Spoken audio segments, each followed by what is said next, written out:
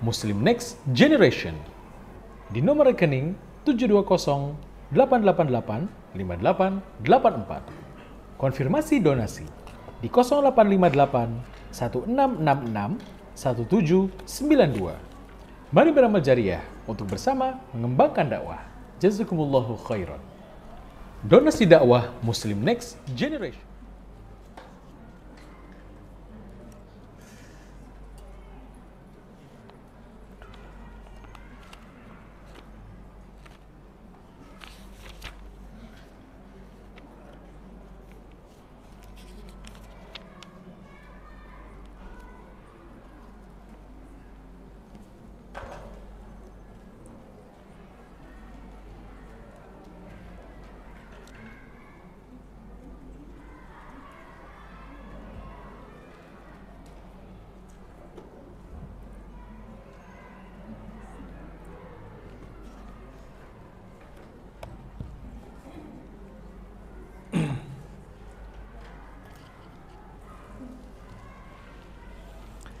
بسم الله الرحمن الرحيم السلام عليكم ورحمة الله وبركاته إن الحمد لله نحمده ونستعينه ونستغفره ونعوذ بالله من شرور أنفسنا ومن سيئات أعمالنا من يهده الله فلا مضل له ومن يضلل فلا هادي له أشهد أن لا إله إلا الله وحده لا شريك له وأشهد أن محمدا عبده ورسوله أما بعد الحمد لله Rahimani wa rahmakumullah jami'an. Melanjutkan dari kajian Yaitu bedah buku Latai As Syifa Gagarib Pada kesempatan kali ini kita masuk pada halaman 121 Kita akan kupas tentang hulbah. Hulbah atau bahasa Indonesianya dikenal dengan kelabet. Ya, hulba atau dikenal dengan uh, kelabet ya, di daerah kita dinamakan kelabet dan uh, dari tanaman ini ya, seringnya diambil dari yaitu impor dari negeri Arab. Nah, dan bahasa Latinnya ma'ruf dengan fenugreek ya ma'ruf dengan fenugreek. Dan banyak di antaranya uh, herbal ini dipakai bahkan disebutkan sejak ribuan tahun yang lalu. Ya ribuan tahun yang lalu dan sering dijadikan campuran dari bahan makanan. Ya campuran dari bahan makanan dan untuk juga penjagaan kesehatan sekaligus sebagai obat bagi penyakit. Bahkan di masa silam sering digunakan untuk mengobati kasus-kasus masalah pada kulit. Ya, masalah pada kulit. Fa fawaid atau manfaat dari al-hulbah ya, manfaat dari al-hulbah sangatlah banyak sekali. Dan yang paling terkenal di negeri Arab hulba ini sering digunakan sebagai yaitu suplemen untuk menambah air susu ibu. Ya suplemen untuk menambah air susu ibu. Ya adapun di Indonesia dikenal dengan daun katu ya yang sering dipakai daun katu. Habatus sauda juga demikian. Dan di Arab yang sering uh, kita pakai adalah hulbah. Ya dan dulu kami sering meresepi ibu-ibu yang setelah melahirkan juga sulit air susunya ya produksi air susunya dalam hitungan beberapa kali pakai saja air susunya bisa melimpah ya. Dan juga kelabet ini ma'ruf digunakan oleh mereka untuk yaitu penyakit sukari penyakit yaitu diabetes ya dan uh, juga manfaatnya di antaranya juga untuk uh, untuk menjernihkan pandangan mata. Untuk menjernihkan pandangan mata. Dan kandungan pada kelabet sendiri nutrisinya kaya akan nutrisi. Ya kaya akan nutrisi. Fa di antara nutrisi yang didapati dalam hulbah atau kelabet ini ya fa di antaranya disebutkan yaitu kalori ya juga karbohidratnya ya juga tinggi juga proteinnya juga ada lemak ya kemudian juga ada Fe kalsium magnesium sodium fosfor dan fosfor yang paling tinggi 33 mg dan juga vitamin B6 ya terkandung padanya vitamin B6 ini dari sisi apa pengobatan yaitu di zaman kita modern. Mereka meneliti kandungan dari al-hulbah. Wa hulbah juga di antaranya mengandung vitaminat. Ya mengandung vitamin yang lainnya seperti vitamin C ya juga vitamin A Makanya di antaranya bagus untuk e, mata juga, juga mengandung vitamin B1, B2, B3, juga mengandung asam folat, ya, dan e, mengandung e, kemudian apa bahan-bahan yang lainnya seperti magnesium, juga potasium. Makanya juga bagus untuk jantung, bagus untuk jantung, juga bagus untuk rambut, ya. Fa Al-hulbah ya, hulbah ini dia bagus untuk kesehatan juga sekaligus selain penjagaan kesehatan juga bagus untuk pengobatan. Ya, juga bagus untuk pengobatan. Keutamaan-keutamaan di antaranya dari keutamaan hulbah terhadap penyakit, ya hulbah dipakai yaitu untuk mengatasi sukari. Ya mereka melihat dari sisi yaitu pengobatan uh, modern dipakai untuk mengatasi kasus gula kasus penyakit gula. Kemudian juga di antaranya fawaid al-hulbah di antaranya untuk mengatasi apa? Uh, lirtifa ad-dihniyat yaitu lemak yang tinggi. Ya lemak yang tinggi juga di antaranya li amradil qalb wal awiyah ad-damawiyah. Ini kita bahas dulu dari sisi kedokteran modern. Nanti berikutnya kita akan masuk dalam buku kita bagaimana kedokteran klasik melihat hulbah. Fa mereka meneliti para kedokteran modern ini bahwasanya hulbah untuk penyakit jantung dan pembuluh darah. Jantung dan pembuluh darah terkandung padanya potasium ya saya ini bagus juga untuk jantung. Kemudian juga di antara keutamanya adalah untuk li'ilaji al-iltihabat, untuk mengobati inflamasi peradangan-peradangan ya. Karena di dalamnya ada uh, asam linuliat, juga asam linulik ya, juga di antaranya uh, flavonoid ya. Ini semua uh, mereka teliti yang bagus untuk peradangan. Adapun nanti kita akan bahas dari sisi kedokteran klasik melihat dari sisi panas dinginnya satu herbal.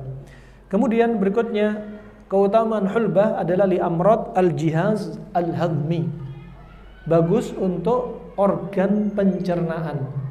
Bagus untuk organ pencernaan. Dengan cara apa? Hulbah tadi diminum ya. Dengan uh, cara mengolah hulbah tadi dengan diminum ya. Kemudian uh, berikutnya uh, terkait dengan pencernaan ini termasuk apa? Hurqah al-mi'dah. Ya, seperti gastritis. Seperti gastritis. Juga al-iltihabat al-am'a al-am'a yaitu peradangan pada usus. Juga asral hadm yaitu pencernaan yang susah. Nah, bermasalah. Juga berikutnya al-imsak Al-imsak yaitu konstipasi. Nah, Masya Allah kalau Anda lihat dari awal sampai sekarang, Anda melihat satu jenis uh, herbal atau jamu atau makanan tanaman ini bisa bermanfaat dan diolah beraneka ragam. Ya, seperti kemarin kami dapati juga saudara kita yang hadir dalam kajian ini, ya, dia putranya, istrinya kalau demam gampang dia sudah paham konsep panas dingin. Demam panas berarti cari yang dingin. Ya. Dengan ini dia sudah bisa mengaplikasikan apa? Jadilah tabib di rumah Anda. Jadilah dokter di rumah Anda. Ya, coba kalau anak dibiarkan nggak tahu penanganannya, demam tinggi sampai akhir, akhir, akhirnya terjadi apa? Kejang, step. Nah, subhanallah caranya gampang. Makanya jadikan kotak obat, obatnya obat herbal misalkan ada obat herbal darurat. Contohnya nggak harus obat kimia, ya Pak obat kimia juga diperlukan juga tidak mengapa, bukan haram, bukan makruh. Ya, Anda sediakan di antaranya demam, konsep demam, demam itu panas. Makanya Nabi bersabda, "Abriduhu bil ma." Dinginkan dia dengan air, fa innahu min fayhil jahannam. Karena demam itu ah dari hembusan jahanam. Berarti ini panas. Dinginkan dengan air caranya apa? Bisa dikompres, bisa untuk uh, minum air dan berikutnya cari yang dingin-dingin dari misalkan herbal. Fa subhanallah, ternyata hanya dengan menggunakan apa? Cukup menggunakan bidara. Ya, teh bidara diseduh, biarin sampai agak dingin dikit, kemudian diminum, hitungan sangat cepat demam sudah turun. Coba ajib. Gak harus uh, mindset Anda demam harus paracetamol. Ya, tidak harus. Nah, ini ya dengan konsep panas dingin simple, Allah simple, ya. Nggak harus subhanallah nyediakan harus ada temulawak, ya. Harus marut temulawak, ya, di slice temulawak kelamaan, udah, ya. Daun bidara, seduh, dah, masya Allah ajib, ya. Kemudian uh, yang berikutnya uh, juga al-hulba ini di antara manfaatnya adalah li amrad al-kila untuk penyakit ginjal. Untuk penyakit ginjal fa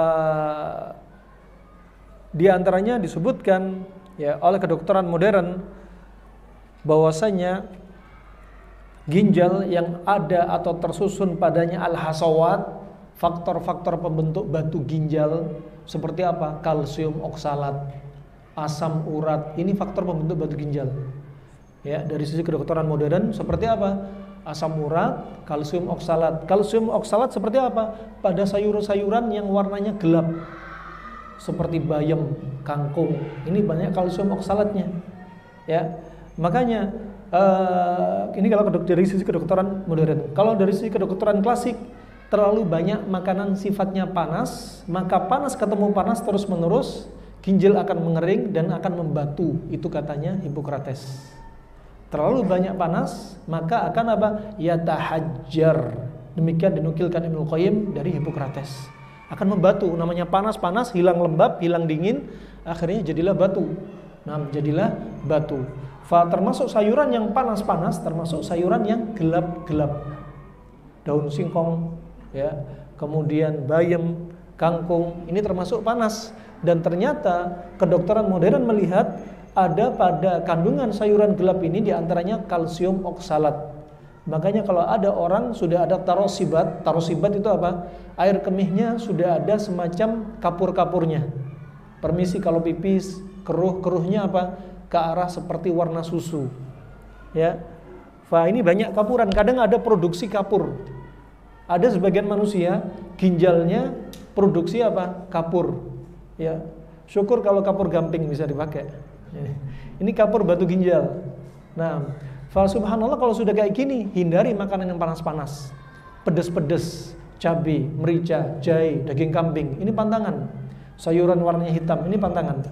Nah, fa adapun ini uh, uh, apa al-hasawat baik batu pada empedu atau batu pada saluran kemih ya disebutkan nisbah kalsium pada ginjal, pada sel-sel ginjal juga juga akan berbahaya. Maka di antara keutamanya minum hulbah ya.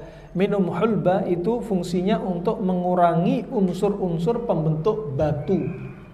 Nah, ya, mengurangi unsur-unsur pembentuk batu. Nah, dan juga dia sekaligus sebagai apa? Mudhadah lil oksidah sebagai antioksidan. Sebagai antioksidan. Kemudian keutamaan hulbah, fawaid al-hulbah lil basharah. Keutamaan hulbah untuk kulit ya anda sekali-kali nanti ya coba beli online hulbah ada di sebagian toko herbal offline juga ada. Sekarang anda beli online. Nanti akan kita bahas dari sisi dokter klasik sampai kalau orang tahu manfaatnya hulbah dia lebih mahal daripada emas. Saking manfaatnya sangat banyak banget. Kemudian fawaid al-hulbah lil bashara untuk kulit. Ya fa di antaranya kandungan hulbah ini kandungan alam yang ada pada hulbah uh, memungkinkan untuk penggunaan yaitu apa? Tumbuh uh, atau baiknya sehatnya kulit ya sehingga enak dipandang ya. Fa di antaranya disebutkan turattib atau tartibil jild. Untuk apa? Untuk melunakkan ya kulit ya. Untuk melunakkan kulit ya. Kemudian at-tahsin min umati wa masil basyarah dia juga untuk memperbaiki memperindah dari kulit ini ya. Uh, disentuh juga lebih lembut. Kemudian yang berikut yang ketiga adalah di antara manfaatnya adalah karena ada kandungan potasiumnya ada karotinnya dan vitamin C-nya maka apa? Akan menjadi kulit itu lebih sehat. Yang keempat ilaju uh, hubbi syabab untuk mengobati jerawat. Ya warruus as-sauda. As-sauda seperti uh, masalah-masalah hitam-hitam yang ada di kulit. Ya kadang ada tumbuh hitam ya. Ya fa apa orang nyebutnya papiloma atau apa wallah alam ya. Alhasil uh, masalah pada kulit. Fa kemudian uh, fathu masami al basharah untuk membuka pori-pori kulit.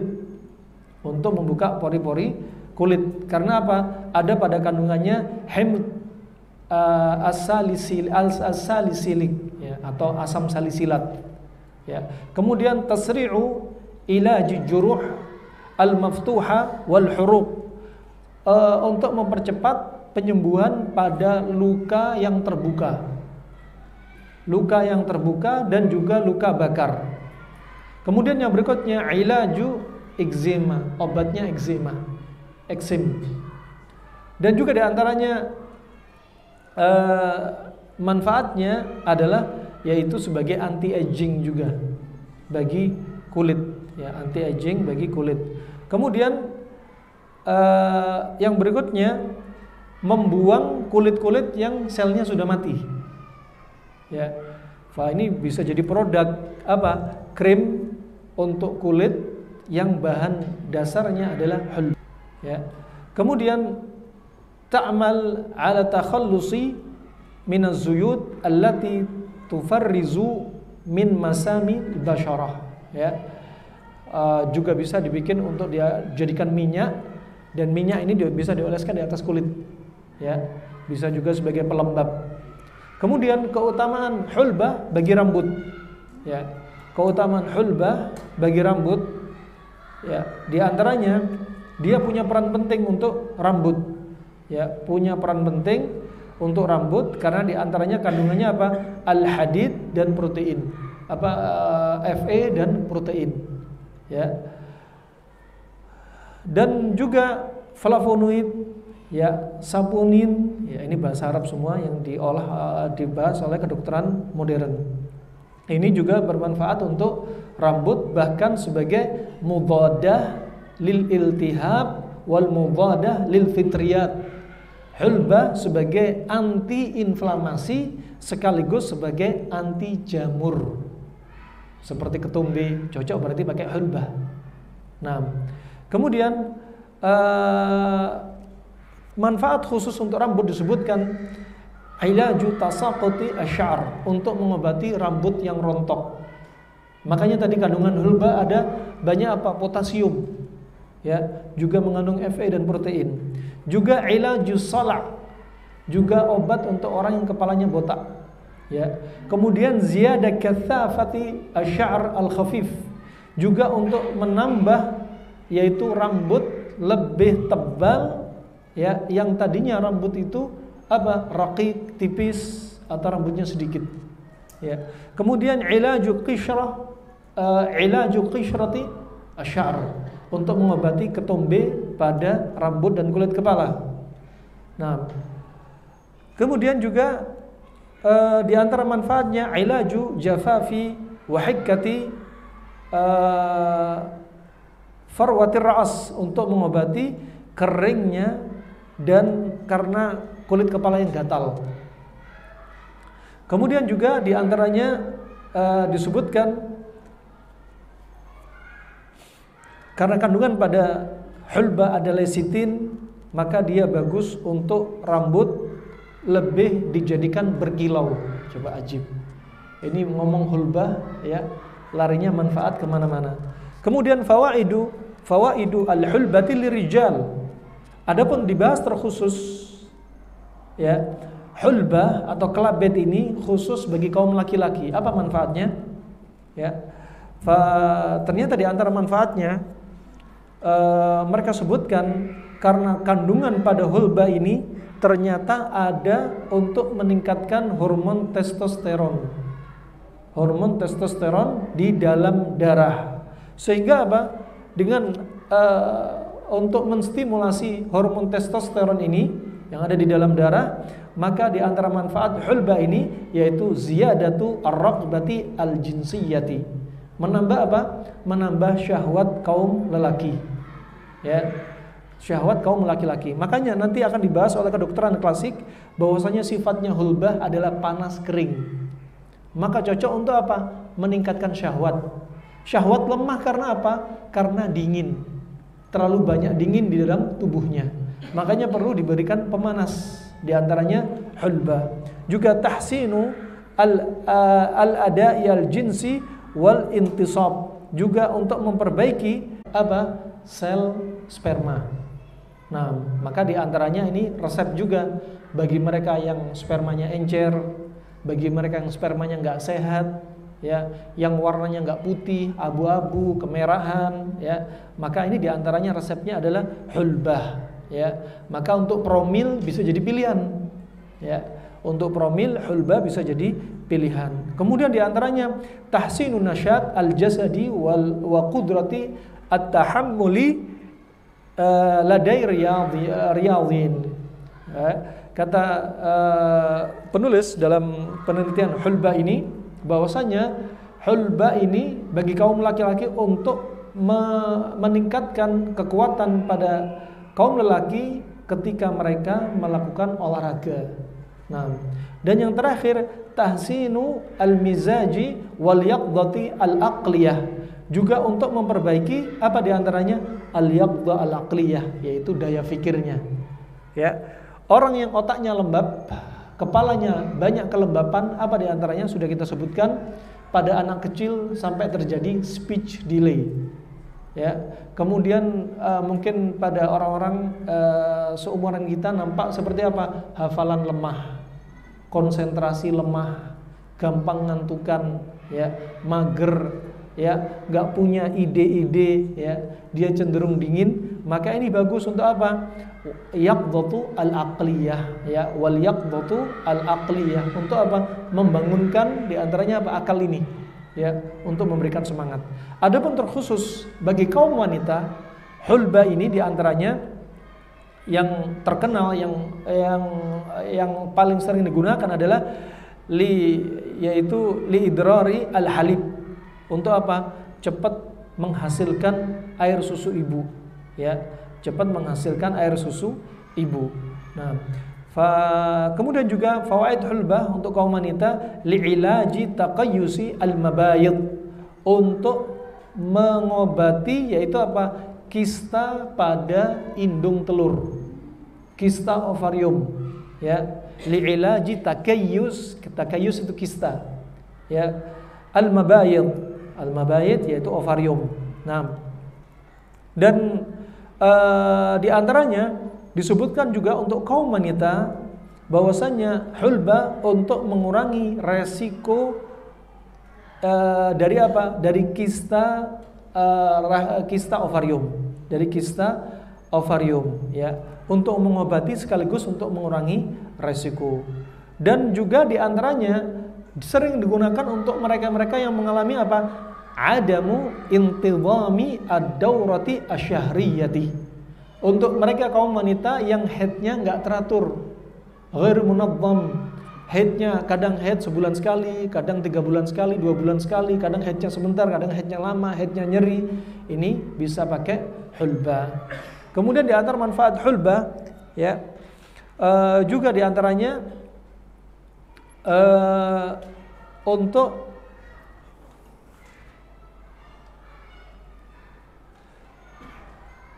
yaitu ketika apa digunakan untuk wiladah, mempermudah proses persalinan. Mempermudah proses persalinan di antaranya apa? Tuqallil min alami ya tuqallil min alami al-mukhat bi syaklil kabir. Subhanallah. Mengurangi apa? untuk mengurangi uh, nyeri pada ibu hamil dan apa ajib bisyaklil kabir betul-betul apa uh, signifikan mengurangi nyerinya betul-betul signifikan ya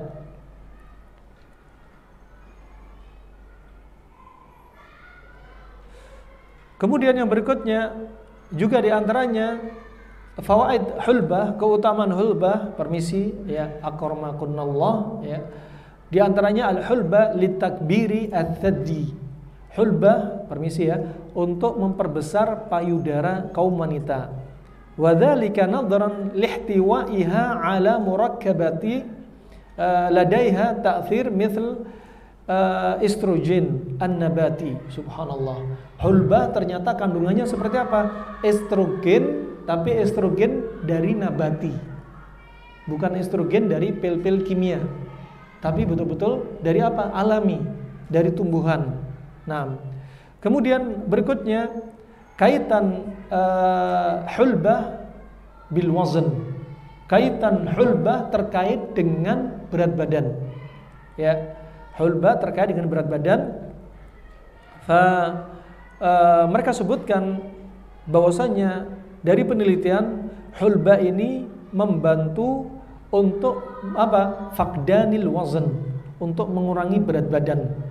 Untuk mengurangi berat badan. Nah, kemudian di antara yang berikutnya.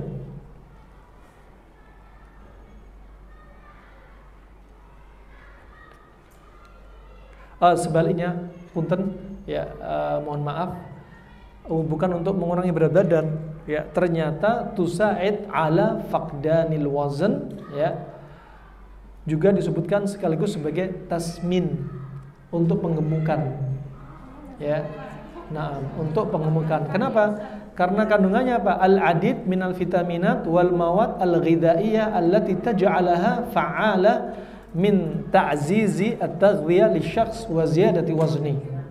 Nanti salah konsumsi ibu-ibu yang kurus yang apa pengen kurus konsumsi ya ternyata tambah tangkok tambah melebar gitu kan ya Masya Allah. kemudian keutamaan hulba liinqasil wazan. Dibahas juga ternyata dia bisa naikkan ternyata bisa menurunkan ya ini yang neliti orang-orang kedokteran modern ya fa kemudian disebutkan yang berikutnya ternyata juga bisa ya uh, tusa'id fi ziyadati syu'ur bil imtila'i wa syab'i ladil fard. Jadi dengan konsumsi hulbah binisbah kalau dia ingin mengurangi berat badan ternyata uh, ini mudah menyebabkan seseorang apa? kenyang. Yaitu bikin cepat kenyang. Nah, sehingga apa? mengurangi nafsu makan. Ya, taqlil ifrat fi tanawuli ta'am bitali yuaddi ila faqdanil wazan dari sisi ini baru bisa mengurangi berat badan dari sisi apa hanya uh, dia gampang bikin kenyang ya dan kemudian uh, cara penggunanya bagaimana hulba ini cara penggunaannya seperti apa bisa anda gunakan ya hulba ini kan tanaman ada tanaman, ada bijinya, ada akarnya, ada batangnya. Seperti sudah kita bahas sebelumnya, labu kuning udah udah kita bahas ya. Labu kuning, daunnya, kuacinya, akarnya, batangnya semua punya manfaat. Ya. Uh, adapun hulba ini ya, adapun di antara yang bisa dimanfaatkan seperti apa? Daunnya hulbah. Tapi apa? Di negeri kita nggak ada daunnya, adanya kita hanya terima bijinya. Ya. Kemudian budurnya, budurnya ini bijinya. Ya. Au hatta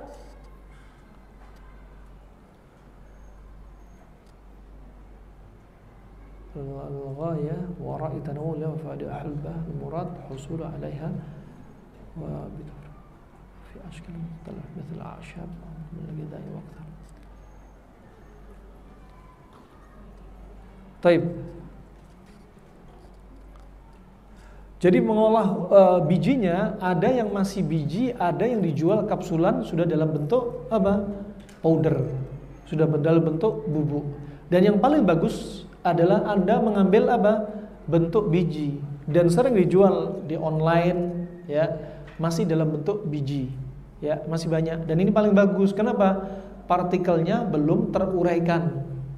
Ketika Anda Anda mengkonsumsi baru ditumbuk, kemudian dikonsumsi. Bisa juga digunakan masker untuk wajah, bisa. Ada yang dijual sudah dalam bentuk powder, tapi kalau sudah dalam bentuk powder, partikel-partikelnya sudah banyak yang hilang lebih dari 6 jam ya hulba yang sudah ditumbuk tidak segera digunakan. 40% dari partikelnya sudah hilang bersama udara. Ya makanya yang paling bagus Anda beli bijinya ditumbuk. Kalau untuk masker ditumbuk. Ketika itu kemudian langsung digunakan apa? Campur air hangat dijadikan masker.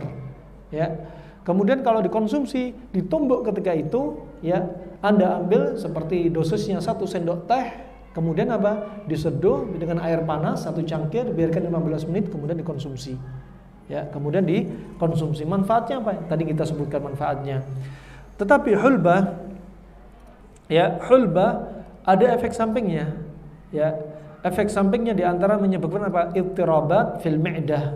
Ya, masalah pada lambung juga ada ya bisa pusing berputar juga sudah pusing ya juga di antaranya apa? Akan menimbulkan aroma air kemih yang berubah. Keringat juga beraroma. Ya. Nah bahkan beraroma aroma hulba yang dikonsumsi muncul pada air susu. Pada air susu. Nah dan hulba ini rasanya agak pahit. Ya dan tersisa lama di lidah. Nah wah kemudian kita mulai masuk dari pembahasan kedokteran klasik. Ya, tadi dari sisi kedokteran modern, mereka mengambil manfaat dari apa? Dari kandungan-kandungan hulbah. Kita bahas dari sisi kedokteran modern. Anda lihat halaman 121. Hulbah ini bersifat panas kering. Hulbah bersifat panas kering jika direbus atau dimasak dengan air ya bermanfaat untuk tenggorokan. Tenggorokannya apa? Yang banyak dahaknya. Ya. Kemudian kenapa? Ada disebutkan hadis dari riwayat Asyuti bahwasanya aktsarul marad bisababil bard. Hadis riwayat Asyuti bahwasanya Nabi bersabda kebanyakan penyakit itu karena dingin. Tapi hadis ini lemah. Ya. Walaupun hadis ini lemah, Ternyata kedokteran timur ternyata juga demikian. Kebanyakan penyakit itu karena dahak. Subhanallah. Walaupun hadis ini lemah nggak sampai kepada Nabi, ternyata kedokteran klasik membenarkan makna dari hadis ini. Bahwasanya kebanyakan penyakit itu karena apa? Albert kalau bahasa timur karena dahak. Ya. Fa, termasuk masalah tenggorokan di antaranya karena dahak, kemudian paru dan perut. Tentunya apa? Yang sifatnya dingin atau dingin lembab, maka hulba sangat manjur. Maka untuk orang yang mengalami kasus Covid, hulba juga bermanfaat. Kelabet atau hulba ini juga bermanfaat. Berarti untuk apa? Orang bapil, batuk pilek juga bakal bermanfaat. Orang sinusitis juga bakal bermanfaat. Orang rematik juga bakal bermanfaat. Orang vertigo juga bisa pakai hulba. Nih, kalau tadi kedokteran modern Anda melihat apa? Mereka membahas dari sisi apa? komposisi. Tapi kalau Anda lihat dari kedokteran klasik, Anda sudah paham sifatnya hulbah, sudah aplikasikan pada kasus-kasus yang lawan dari sifat hulbah. Kemudian juga bisa untuk menenangkan batuk. Orang yang batuk ngekel ya ini akan apa? Menghabiskan tenaga. Ya, kalau batuknya kronik, ngekelnya kronik, lama-lama tubuh dia akan kurus, kehabisan tenaga. Ya, maka hulba ini selain untuk mengatasi batuk juga sebagai apa? Penenang dari batuk. Ya, penenang dari batuk.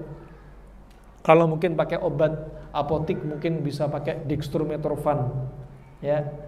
Untuk menekan batuknya. Ya, adapun pakai herbalnya berarti pakai apa? Hulbah atau kelabet, menekan batuk. Ini ajib.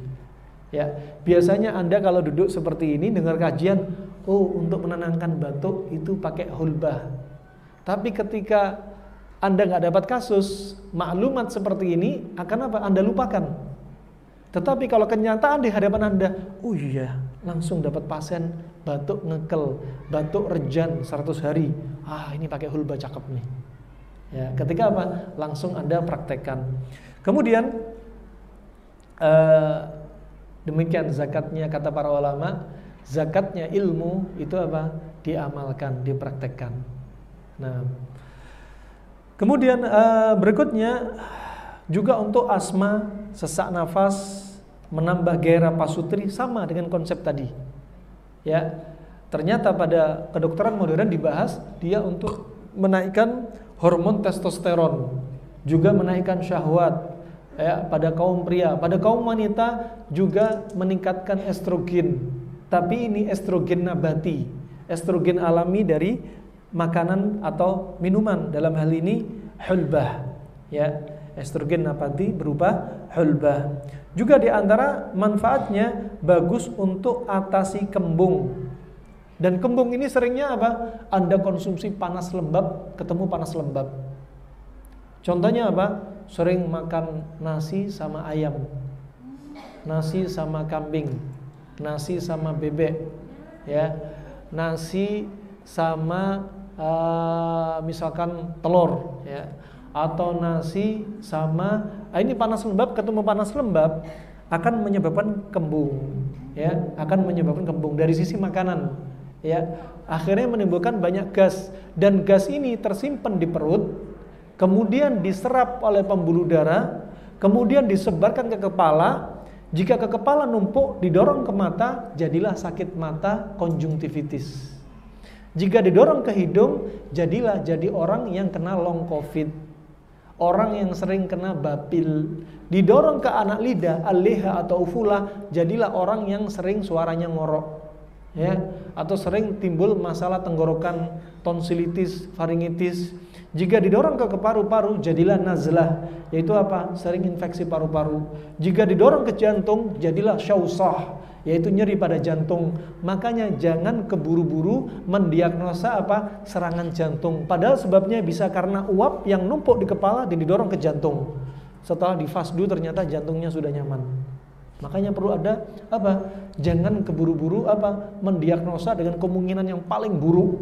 Dimulai dari awal dulu yang terendah dulu. Ya, kalau dikasih kemungkinan yang paling buruk akhirnya apa? Sudah pakai dosis yang tinggi, obat yang paling tinggi, tiba-tiba diagnosanya operasi, ternyata nggak ada apa-apa, cuma karena hawa. Nah, kemudian jika hawa itu nggak keluar, akhirnya numpuk di kepala, jadilah pusing. Ini teorinya Al-Hafidh Ibn Hajar dalam Fathul Bari tentang apa? Babur ramat, bab tentang konjungtivitis disebutkan.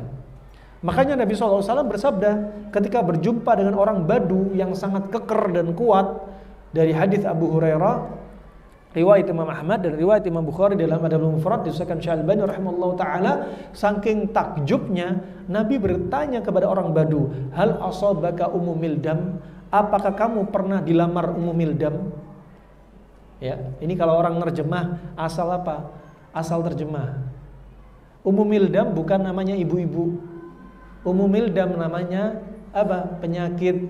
Ya. Jadi jangan ada yang ngasih kunyah umumil dam. Artinya apa? Hal asabaka umumil dam, apakah kamu kena umumil dam? Bukan kena dilamar, bukan. Tapi kena umumil dam. Kemudian orang baru tanya, "Ma umumil dam?" Apa itu umumil dam? Coba. Orang Badu faham kalau umumil dam itu bukan namanya manusia, tapi ma. Ma itu menunjukkan untuk benda mati. Ya, bukan man umumil dam, siapakah umumil dam? Bukan. Tapi ma umumil dam coba mereka faham bahasa Arab. Kata Rasulullah umumil dam adalah al-humma atau al-hararah bainal jild wal adalat, yaitu panas antara kulit dan otot. Kemudian apa kata orang Badu? Ma sobani umumil dam abada. Aku nggak pernah kena umumil dam selamanya. Ya.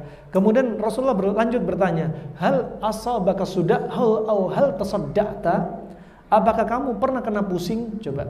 Nabi tanya pertanyaan penyakit yang paling ringan. Nabi nggak pernah nggak tanya kepada orang Badu, apakah kamu pernah kena stroke? Apakah kamu pernah kena kanker? Enggak. Ditanya yang paling ringan, apa? Demam dan pusing. Kemudian apa kata orang Badu? Apa sih pusing itu? Coba. Demam nggak paham, pusing nggak paham. Nah, kemudian kata kata Rasulullah, pusing adalah apa? Rihun ya'taridu fir ra's wa yadribu al-asab. Coba. Ini kronologi pusing yang dijelaskan Nabi. Pusing adalah uap ya, angin yang menumpuk di kepala dan kemudian menekan saraf. Karena banyak menumpuk, akhirnya menekan saraf. Jadilah pusing. Ya, Kemudian kata Rasulullah SAW, barang siapa ingin melihat ciri-ciri penghuni neraka, lihatlah orang tadi. Ya, ciri-ciri penghuni neraka orang yang nggak pernah sakit seumur hidup. Ya, kalau anda pernah sakit, alhamdulillah, moga-moga kita semua bukan cari apa penghuni neraka. Ya, nah, sehingga apa? Ini ciri-ciri penghuni neraka. Salah satu ciri-ciri dari sekian banyak ciri adalah nggak pernah sakit seumur hidup. Ya alhamdulillah Anda yang pernah kena pusing ya. Sekali lagi pusing itu banyak, nggak hanya seperti pusing disebutkan Nabi. Pusing disebutkan Nabi apa? Karena uap yang numpuk. Kenapa? Karena gas yang ada di dalam perut numpuk. Jadilah pusing. Coba Anda mungkin ada yang pernah kena pusing ketika sendawa, permisi, dan plus buang angin, nyaman nggak pusingnya? Lebih enak kan? Itu menunjukkan pusing karena uap. Ya, lain kalau pusing karena urusan suami istri tengkar, ya. pusing karena utang, ya. Nah, ini pusing karena uap, ada pusing karena salah posisi tidur, ya. Ada pusing karena matanya minus, ya. Ada pusing karena dehidrasi, ya. Ada sebabnya banyak sekali. Lebih dari 20 pusing uh, kepala ya yang disebutkan oleh ahli pengobatan. Kemudian uh, maka di sini hulbah bagus untuk mengusir kembung kalau Anda kembung, nih pakai hulbah. Ya, pakai hulbah. Makanya kalau ada orang kena Covid coba minum kustil hindi, setelah minum kustil hindi apa yang dirasakan? Yang mereka uh, utarakan, kok setelah minum kustil hindi saya buang angin terus ya? Kok setelah minum kustil hindi saya sendawa terus ya? Itu adalah apa? Reaksi positif. Ya, kelembapan-kelembapan dalam tubuh Anda mulai diusir. Nah, wah ini kalau kita tidak buri simpel banget ilmu pengobatan ya. Kemudian berikutnya bisa untuk mengatasi daha dan wasir. Daha dan wasir. Ya. Uh, ada istilah basur.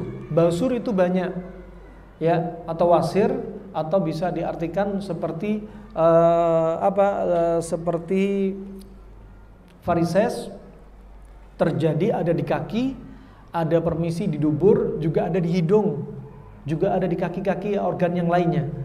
Fa ini ternyata bahulbah sangat bagus untuk wasir dan daha.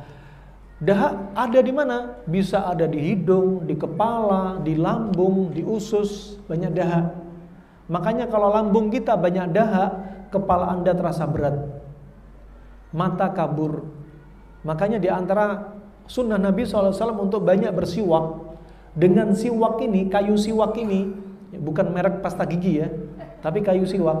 Dengan kayu siwak ini, kandungan siwak ini untuk apa? Mengeringkan dahak di lambung dan menjernihkan mata. Nah, menjernihkan mata. Makanya di antaranya ada terapi yang sering dilupakan oleh kita apa? Terapi muntah. Dengan muntah itu apa? Menghilangkan dahak sehingga kepala enteng dan mata jadi cerah. Nah, juga mempercepat turunnya alkimusat atau cairan cim dari lambung yang menumpuk di dalam usus. ya yang menumpuk di dalam usus ini yang kita bahas di papan tulis ya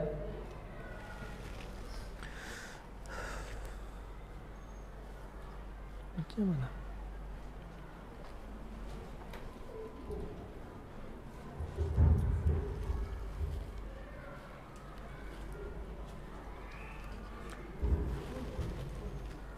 Taib. Uh, tadi dijelaskan di antaranya hulba ini ya.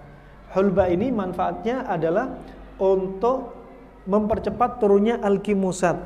Alkimusat. Sudah kita bahas sebelumnya ya apa itu alkimusat? Ini lambung. Ya. Lambung. Di sini ada sphincter pylori. Sphincter pylori. Pylori. Ya. Sphincter pylori atau orang Arab menyebutnya famul me'dah mulut lambung. Di sini tempatnya enzim nanti akan turun dan makanan yang dimakan ada di sini. Di sini ada lima enzim yang akan menghancurkan makanan. Taib. setelah makanan dihancurkan makanya sering uh, kita sebutkan makanya kalau sambil makan jangan sambil minum. Biar enzim ini betul-betul menghancurkan makanan di sini. Kalau habis makan jangan langsung minum. Sambil makan jangan sambil minum. Juga habis makan jangan langsung minum. Ya. Nah apa tujuannya? Biar makanan yang masuk itu dihancurkan oleh lima enzim ini. Coba bayangkan ada HCl HCl ini asam kuat. Cepat dihancurin. Kalau anda habis makan langsung minum HCl dan empat enzim yang lainnya, pepsin, ya, kemudian renin dan kawan-kawan, ya, itu akhirnya akan kedorong masuk. Ketika habis makan langsung minum, pertama apa yang ditimbulkan kalau habis makan? Ya, makan langsung minum. Resikonya apa? Satu, ya, makanan belum hancur 100%. Kedua, apa? Akan ada reaksi balik enzim akan naik. Sehingga ini makanan pertama belum hancur, kalau belum hancur akhirnya apa? Makanan akan berjubel di sini. Sehingga apa? Resiko berikutnya uh, tadi sphincter pylori atau famul me'dah rusak kemudian sakit. Sakit inilah kalau orang klasik nyebutnya penyakitnya alkolanj. Ya. Kemudian disebutnya apa? Kolik abdomen bahasa modernnya. Ada pulpen lagi? Ada ini lagi? Spidol. Kolik abdomen. Alkolanj atau kolik abdomen. Jadi rusak. Kalau sudah kena kolik abdomen, sudah pontang-panting di atas tempat tidur, saking sakitnya, nyerinya. Ya. Kemudian berikutnya, setelah ya makan langsung minum, kemudian didorong, maka apa? Enzim akan naik. Ini naik. Ya, makasih. Syukran.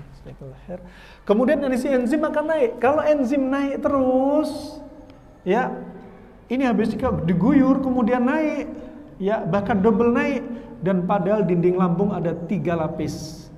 Kalau naik akhirnya nih kosong karena langsung minum dia naik lagi, nanti resiko berikutnya apa? Keempat akan terjadi gastritis, sakit mah. Karena naik di sini. Kalau nggak segera segera diobatin akan naik berikutnya ulkus peptikum, tukak pada lambung. Tetap nggak diobatin, ya sudah ada luka, makanya ini ketika ada lapisan pertama kena, di sini luka langsung sakit. Sakit itu alarm untuk apa? Anda segera perbaiki pola makan Anda, Anda obati lambung Anda. Kalau udah sakit mah, sakit.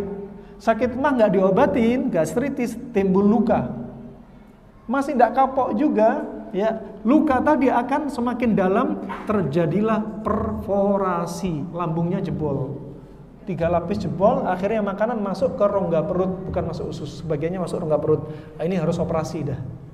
Nah, ini coba gara-gara salah pola makan kita coba ajib. Wah, subhanallah. Dan enzim ini nanti menghancurkan makanan, makanya jangan langsung minum. Ya.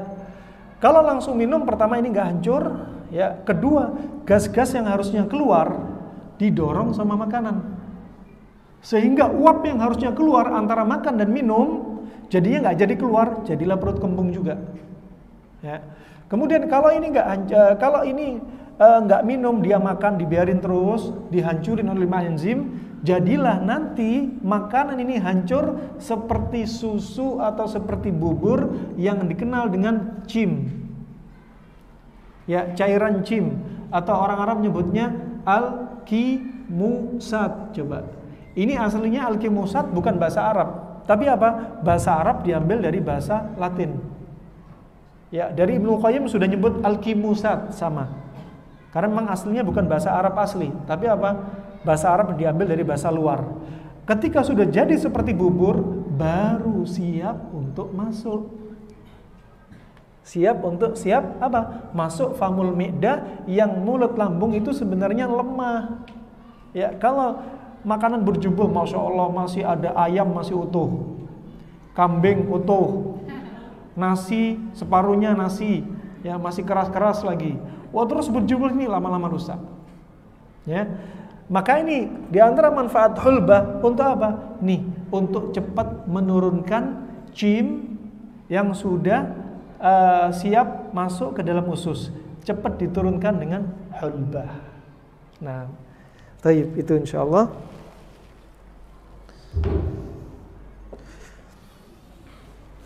Kemudian yang berikutnya ya, yang berikutnya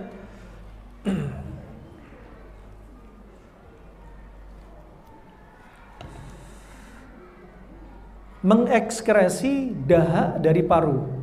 Dahak sifatnya apa kira-kira? Lembab. Ketika mengkonsumsi hulbah, ya, maka apa? Sebagai apa?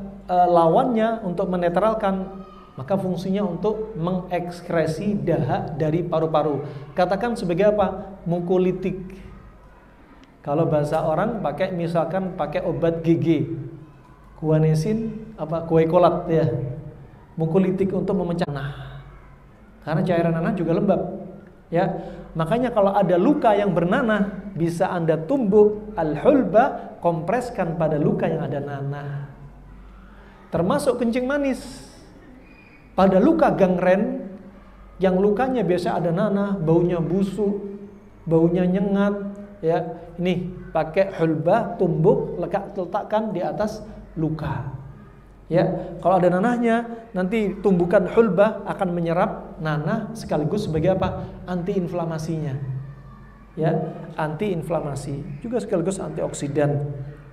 Ya, maka dia sebagai apa? Untuk penghilang ad-dubailat, cairan yang bernanah sekalipun. Dan untuk penyakit paru-paru, termasuk apa? Termasuk COVID juga bermanfaat. Kita gunakan hulbah. Nah, wah, sekali lagi hulbah itu murah, meriah, bahkan kasus penyakit yang dianggap berat harus vaksin ya harus uh, suntik naikkan imun dan lain sebagainya jadi cuma murah Makanya sehat itu mudah, sehat itu murah. Bagi siapa? Bagi Anda yang membekali diri Anda dengan ilmu pengetahuan terkait pengobatan. Ya. Makanya para ulama mengatakan ilmu pengobatan hukumnya bisa jadi wajib. Seperti kapan? Seperti kasus pandemi sebelumnya bulan Juni Juli yang satu hari bisa mencapai seribu korban jiwa dari Sabang sampai Merauke. Kenapa? Karena nggak tahu ilmunya. Nah, Kemudian jika hulba diminum dengan dua setengah gram fuwah, fuwah itu apa? Rubia tinctorum ini di Indonesia masih ada. Akan melancarkan haid yang tidak teratur. Ya. Hulba bisa melancarkan haid yang tidak teratur. Jika direbus, jika hulba ini direbus, kemudian dikeramaskan ke rambut, maka akan membuat rambut keriting, jad.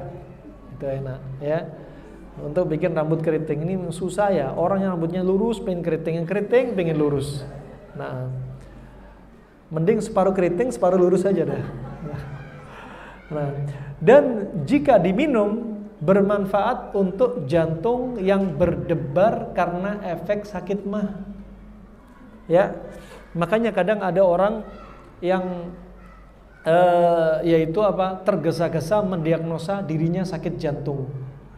Ya, uh jantung saya berdebar, jantung saya aritmia. Padahal sebabnya karena lambung.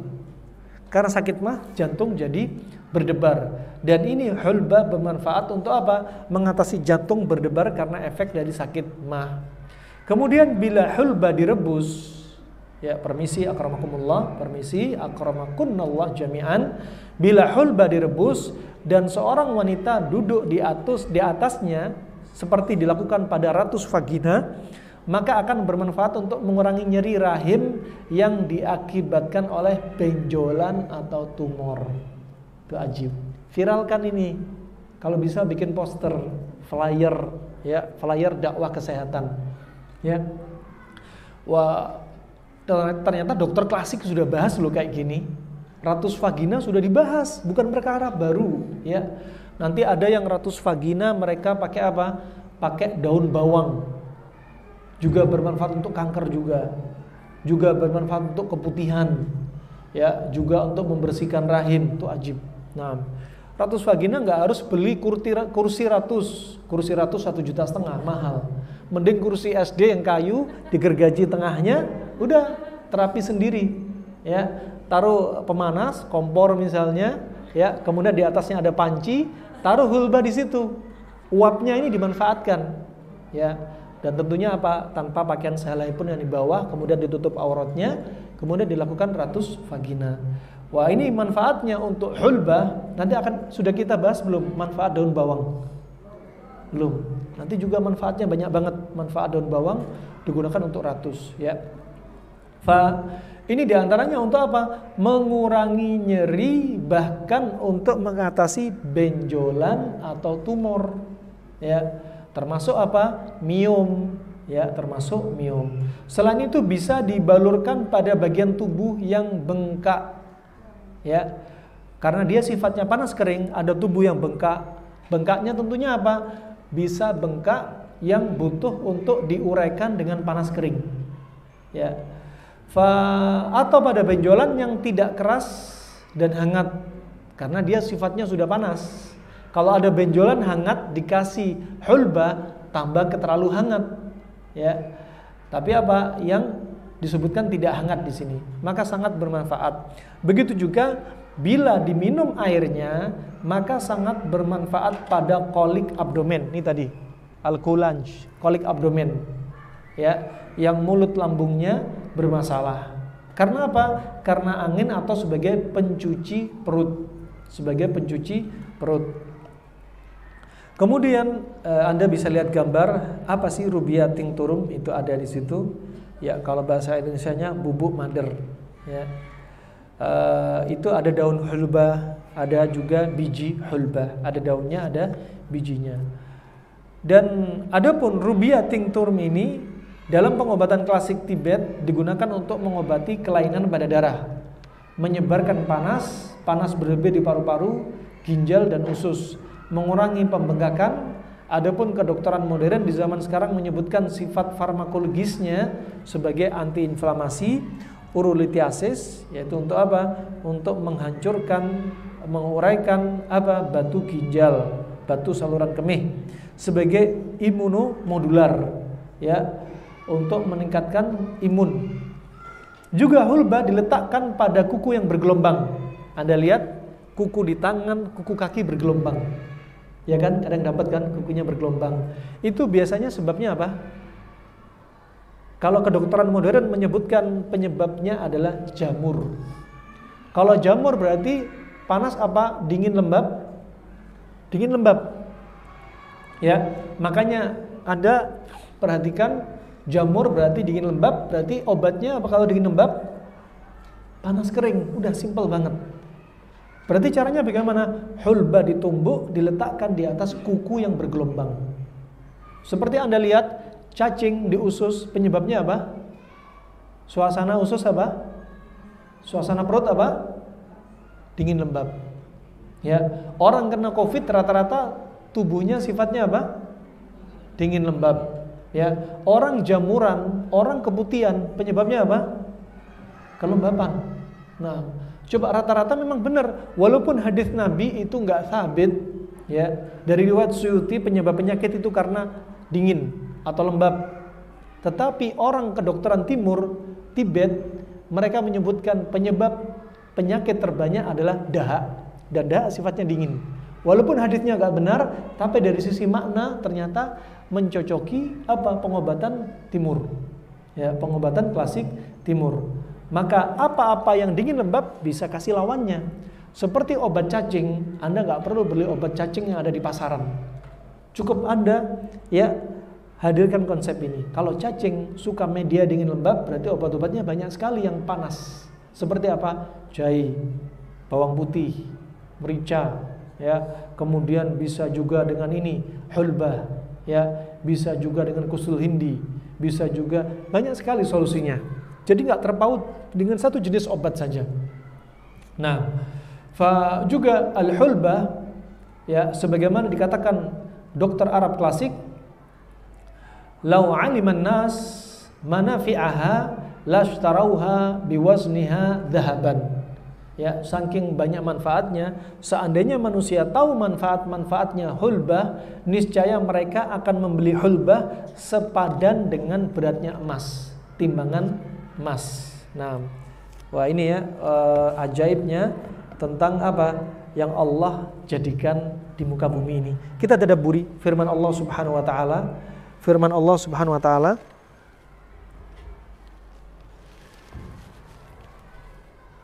Tadabburi firman Allah ya.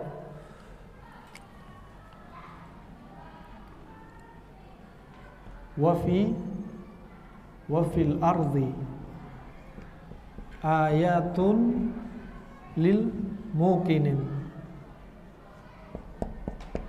ya. Wafi anfusikum afala tubsirun.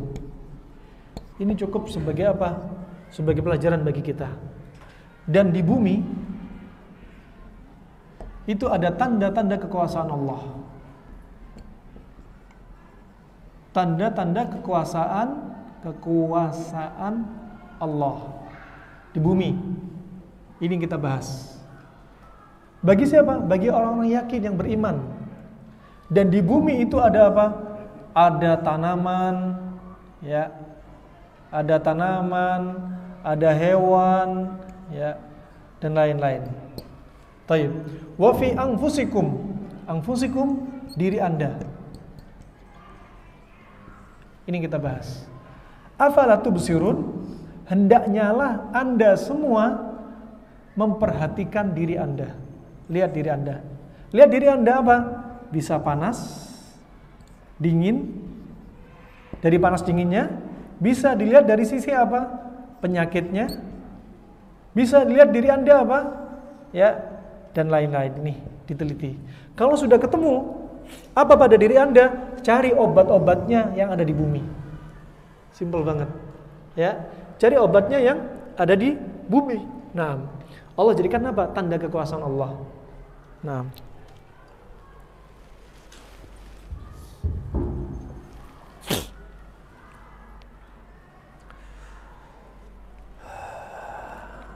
Kemudian hulba sebagaimana disebutkan Ibnu Qayyim rahimahullah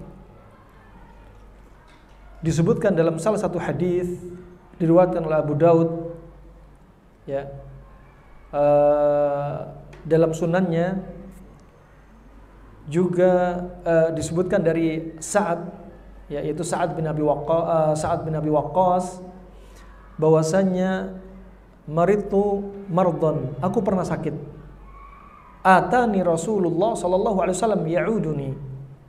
Ya fa Rasulullah sallallahu alaihi wasallam datang kepadaku mengunjungiku fa yadahu baina thadiyai. Kemudian Rasulullah meletakkan tangannya di antara ini dadaku ini. Thadiyah itu uh, uh, apa? payudara. Kemudian hatta wajadtu bardaha ala fuadi sampai aku mendapati apa?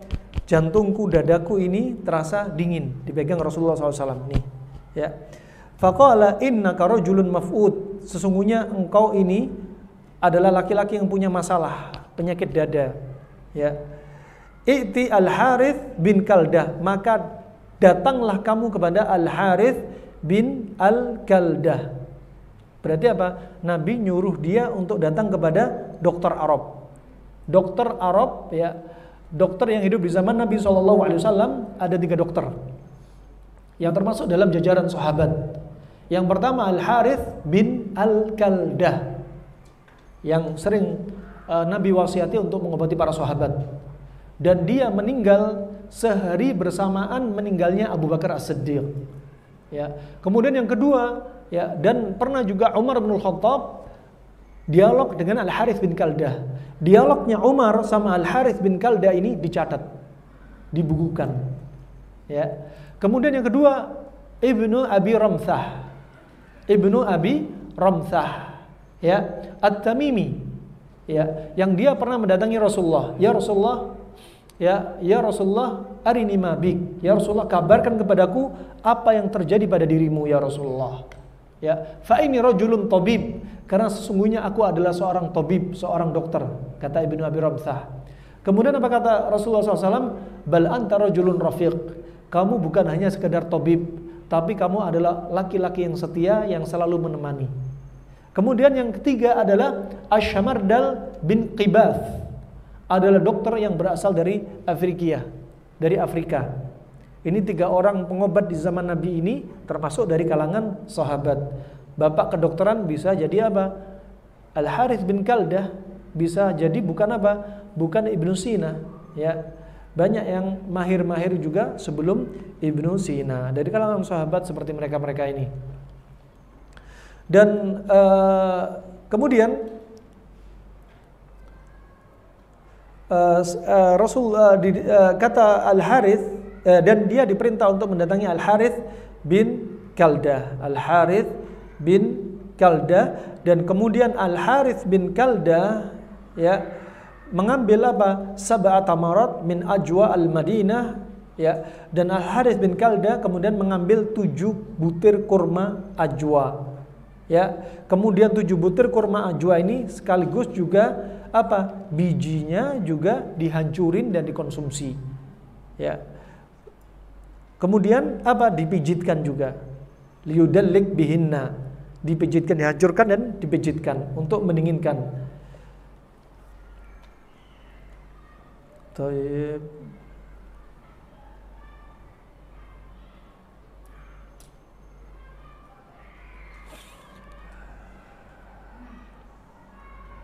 Kemudian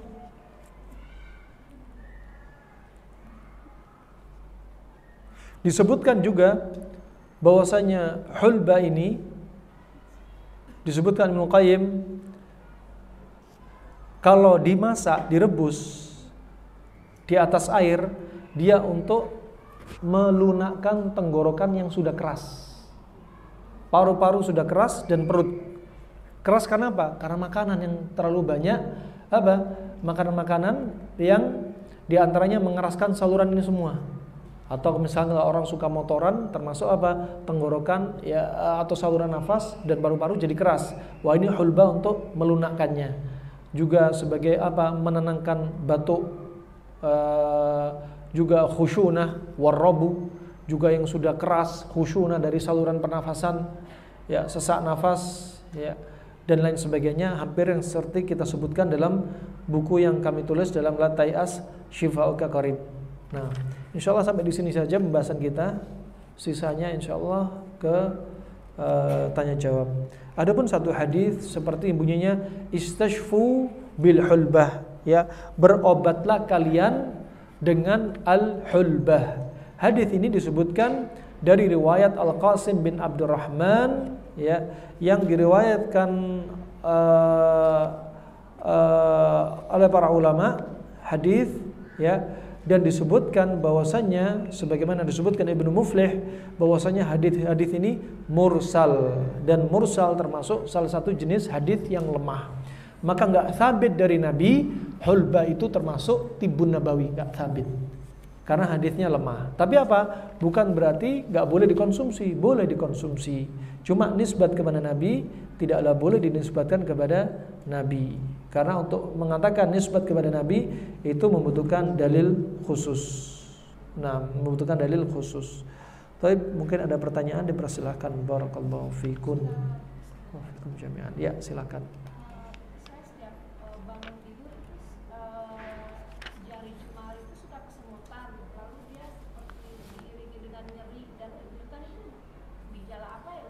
jari jemari ya jemari tangan apa kaki? Nah. Taib. Seringnya kesemutan kalau istilah pengobatan eh, namanya tanamul. Tanamul diambil dari kata namal. Namal itu semut. Kalau kesemutan berarti tanamul. Ya. Dan eh, kesemutan ini seringnya apa? Disebabkan karena darah yang nggak lancar. Ya, nggak lancar karena apa? Sebabnya banyak. Bisa karena kalau bahasa modern dedimer terlalu tinggi, darahnya terlalu kental, sehingga nggak sampai ke seluruh organ, ya darah tadi nutrisinya nggak tersampaikan, akhirnya kesemutan. Bisa juga karena kentalnya juga bisa disebabkan karena kolesterol yang terlalu tinggi, ya juga bisa karena asam urat, ya juga memang kentalnya karena sifatnya terlalu manis dan pekat. Kebanyakan kita makan manis dan pekat, darah kental bisa kesemutan. Juga bisa jadi apa? Adalah ada pembuluh darah yang tersumbat. Tersumbat bisa karena apa? Tidur salah posisi sehingga tertekan, pagi-pagi kesemutan. Juga bisa faktor dari luar apa? AC terlalu dingin misalnya. Wallahu a'lam bishawab. Banyak sebabnya, maka eh, Anda cari diobati apa jika penyebabnya eh, ketemu misalkan karena asam urat, kolesterol, kencing manis, ya gula darah tinggi, darah terlalu didimernya tinggi, maka apa? Ya solusinya dibuang darah yang kental tadi. Bisa dengan donor darah, bisa dengan bekam, bisa dengan fasdu. Wallahu a'lam bishawab. Ustaz itu harus minum apa? Berbanyak buah apa? Pantangannya berarti apa? Makanan, minuman yang bikin apa? Darah kental dan pekat. Seperti apa? Makanan yang manis pekat, kebanyakan gula atau buah-buahan yang sifatnya eh, apa? Seperti durian, ya. Seperti juga rambutan, seperti kelengkeng, ini bikin manis pekat.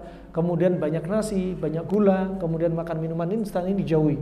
Kemudian berarti makanannya dianjurin apa? Yang uh, di advice apa seperti apa? Seperti buah-buahan yang ngencerin darah, seperti apa di antaranya nanas, seperti stroberi, seperti sirsa, ya. Kemudian kalau dari sayuran, hindari sayuran yang warnanya hijau gelap, ya. Pilih sayuran cerah-cerah, ya. Kemudian untuk dagingnya, pilih daging-daging. Sementara kalau ada yang pengentalan darah, pilih seperti protein hewaninya seperti ikan, ya, seperti ikan. Jangan pilih daging merah dulu, ya. Pilih dagingnya yang cerah. Seperti kalaupun bagian daging, bagian daging yang bukan warna merah. Wallahu a'lam bishawab. Ustaz ikan laut atau ikan apa Ustaz? Eh, yang bukan jelas bukan ikan ayam, bukan ikan kambing. Ya. Ikan asin boleh? Eh, kalau sudah kental, ya, kalau ikan asin nanti apa? Sifatnya kan panas, berarti akan bikin darah semakin kental, panas dan kental, ya. Maka apa? Ikannya ikan segar, bukan berarti ikan segar nggak digoreng, nggak direbus, ya.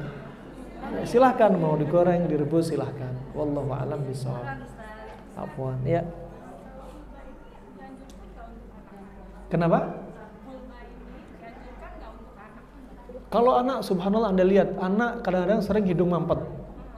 Anak kadang sering eh, batuk pilek. Wah, ini sangat dianjurkan, tapi rasanya ya rasanya sangat nggak disuka. Walaupun campur madu masih pahit tapi mi- meminimalkan ya. Tapi kalau anak sudah suka dikasih pemanisnya mungkin lebih enak pakai tebu. Ya. Tebu dan madu adalah campuran-campuran untuk eh, dikombinasi dengan herbal atau tanaman yang agak pahit dari masa silam. Pilihannya adalah tebu dan madu. Ya, bisa dicampur madu bisa tebu atau madu bisa. Nah, kalau hulbah cukup satu sendok teh. Kalau anak kecil ya setengah dosis dewasa. Nah, nah sehari tiga kali, dua sampai tiga kali, dua sampai tiga kali. Wallahu. Bisa untuk cacingan pada anak-anak. Cacingan pada anak-anak bagus, ya. Bisa untuk alergi, alergi yang sifatnya dingin, ya. Ada alergi yang sifatnya dingin, cocok pakai hulbah. Kalau alergi sifatnya panas, ya, misalkan ada psoriasis, nggak cocok pakai hulba. Psoriasis nggak cocok pakai hulba. Wallahu a'lam bishawab. Ya, ada yang lainnya? Ya, silakan. Waalaikumsalam warahmatullahi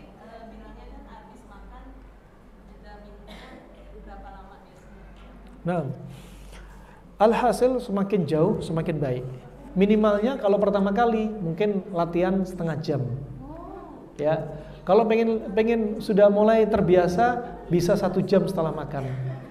Ya, yang jelas jangan sampai lupa minum. Nah, kesedak kan bukan bukan berarti minum banyak. Kesedak kan hanya minum dikit hanya untuk menghilangkan tersedaknya. Makanya orang Arab zaman sekarang sampai detik ini mereka kalau nggak ada ceritanya makan nasi ada kuah langsung nggak ada kan? Jarang menu di Arab kan? Dari masa silam sampai sekarang. Kalau kita kan ada sop, ada bakso kayak gitu ya. Kalau mereka nasi ya nasi tapi apa? Kuahnya hanya di samping itu pun untuk apa? Melegakan tenggorokan. Tapi bukan minum kuah, hanya untuk apa? Hanya untuk melegakan tenggorokan. Makanya ada istilah Anda kalau makan, makan bakso, makan sop. Gak ada ceritanya kan, Anda minum bakso, minum sop. Kan enggak. Ya. Jadi makan bakso sambil kuahnya, itu masih tidak mengapa. Lain kalau bakso, ya baksonya sudah habis, terus kuahnya diminum. Nah, ini lain cerita. Nah, wallahu a'lam. Insyaallah itu ya. Ya.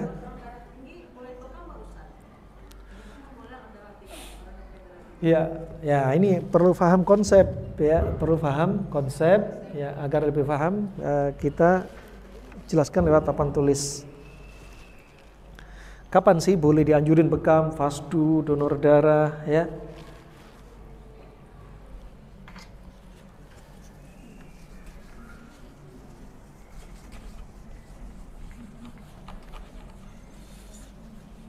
Orang-orang klasik sudah membahas jadi masalah eh, masalah ya masalah kesehatan. Masalah kesehatan. Bisa karena unsur yang berlebih. Orang nyebutnya ekses. Ya ekses ekses. Atau berlebihan lah bahasa Indonesia aja berlebihan. Ada yang defisiensi kekurangan Penyakit-penyakit orang di masa silam seringnya kekurangan. Ya, Nabi SAW disebutkan oleh Suyuti dengan sanad yang sahih, seringnya Nabi sehari hanya makan dua kali. Tapi jangan bilang sunnahnya makan dua kali. Kenapa? Untuk mengatakan sunnah makan dua kali butuh dalil khusus. Kenapa? Nabi makan dua kali karena memang makanan di waktu itu sedikit. Nabi pernah datang kepada istri-istrinya Hal indakun minal ta'am, apakah kalian punya makanan? Apa kata para istrinya? Ma'in dana illa falakal khubz. Kami nggak punya kecuali beberapa potong roti coba. Kita harus banyak bersyukur nih. Kemudian Nabi tanya, hal indakun minal khal, apakah kalian punya cuka? Coba Nabi makan roti sama cuka. Kemudian disebutkan oleh Ibnu Qayyim, roti di masa silam seringnya gandum dan gandum sifatnya apa? Apa? Dingin. Dan cuka sifatnya panas. Ya. Tapi yang menyebutkan bukan Nabi ini, yang menyebutkan apa? Ibnu Qayyim. Lain dengan kurma sama semangka memang dari lisannya Nabi. Kemudian Nabi kadang makan apa? Hanya timun dengan uh, semangka, timun dengan kurma. Ya, dan itu kata apa? Kata para ulama bukan hanya sekali berulang-ulang sampai badan Aisyah yang kurus jadi berat badan ideal. Tentunya nggak mungkin hanya makan sekali kurma sama timun langsung gemuk ideal. Enggak, butuh waktu. Dan disebutkan juga oleh para ulama ya dalam riwayat ini ya dari dua kali makan itu satu kalinya dari dua ini Rasulullah hanya makan kurma. Rasulullah hanya makan kurma. Makanya sehat itu bukan dilihat dari sisi banyak-banyakan makan. Semakin kita banyak makan, semakin kita potensi sakit. Ya, semakin banyak sel-sel yang akan mati. Kenapa? Kecapean dengan makanan kita. Nah, makanya di antara manfaat puasa, apa manfaat puasa? Meningkatkan kekebalan tubuh. Dengan leukosit yang naik, sel yang tua dibuang, diganti sel muda. Ternyata resep awet muda justru puasa. Nah, orang-orang di masa silam seringnya masalah masalah kesehatannya apa? Kurang nutrisi. Nabi walaupun makannya seperti itu disebutkan dalam riwayat bahwasanya perutnya Nabi dengan dadanya itu lurus. Tidak terlalu kurus, juga nggak terlalu perutnya maju ke depan. Ya, lurus. Nah, fa oh, penyakit di masa silam seringnya kurang nutrisi. Ada di antara mereka ada yang badannya kurus, uh, ada yang apa kurang protein, ya, pusung lapar dan sebagainya. Tapi penyakit zaman sekarang kelebihan nutrisi. Jarang orang sekarang yang apa? Yang kasusnya kekurangan nutrisi. Mayoritasnya kelebihan nutrisi. Habis makan ngeluh kenyang, habis makan ngeluh sesek, ya. Kemudian ada obesitas, darah tinggi, kolesterol, asam urat, ya. Kemudian asam laktat, kemudian kelebihan kreatinin, kemudian subhanallah udah ini banyak berlebihan. Dan sesuatu kalau berlebihan berarti diapain? Dikurangi. Ya, dikurangi dengan apa? Bisa di antaranya olahraga itu penting, ngeluarin yang berlebihan. Bisa juga donor, ya. Bisa fasdu. Ini terapi-terapi untuk ngurangin fasdu. Bisa apa lagi? Bekam. Bisa dengan permisi, muntah. Bisa dengan sedot lintah. Ini semua ngurangin. Ya, bisa dengan puasa, ya. Banyak sekali. Tapi kalau sudah kurang, jangan tambah dikurangi. Orang sudah anemia, dibekam, difasdu, didonor. Orang sudah kulit kering, sisa kulit sama tulang masih difasdu. Nah, subhanallah, orang sudah HB-nya rendah, gula darahnya rendah, ya. Kemudian apa tensinya 60, wah 60 per 40 misalnya, HB-nya 6 ya, masih difasdu ya, akhirnya shock. Nah, itu ya konsepnya. Selalu berlawanan. Kayaknya cukup aja ya, sudah hampir duhur ya. Cukup ya Ibu ya? Cukup insya Allah. Uh, tadi hulba, bagaimana cara menggunakan hulba? Kalau pada luka, luka yang bernanah, luka yang lembab, luka yang permisi benyek, seperti eczema kan benyek sebagainya, berarti kan sifatnya lembab ya. Ya, eczema ini lembab. Kalau psoriasis sifatnya apa? Psoriasis sifatnya apa? Psoriasis. Tuh, kalau ada orang stres kadang psoriasis. Sifatnya apa? Psoriasis. Sudah diulang-ulang. Sifatnya kering panas. Makanya orang stres sering psoriasis. Stres panas tambahi tubuh yang sudah panas psoriasis. Ya, makanya kadang ada orang bilang, dokter bilang ini gangguan imun nih sehingga muncul psoriasis. Iya, imun sifatnya panas sehingga perlu herbal dingin. Untuk orang psoriasis makanya obatnya apa? Gampang, simple. Bikin rebusan daun bidara dan lokasi psoriasisnya tumbuk kasih daun bidara. Tapi kalau orang eczema itu sifatnya dingin. Makanya orang eczema di antaranya apa? Nih pakai hulbah cocok. Pakai hulbah cocok biar kering. Ya, biar kering. Kalau sampai apalagi sampai ada pioderm. Ya. Ada dermatitis, ada pioderm, sampai sudah ada nanahnya. Ini cocok sekali. Pakai hulba. Hulba ditumbuk langsung aja diletakkan, nggak usah dikasih air. Letakkan di atas uh, eczema tadi, ya. Tanpa ditutup sudah cukup, ya. Kalau diusahakan dia nggak aktivitas, tapi kalau dia aktivitas diperban dengan kasa. Ya, itu ya bisa difahami ya.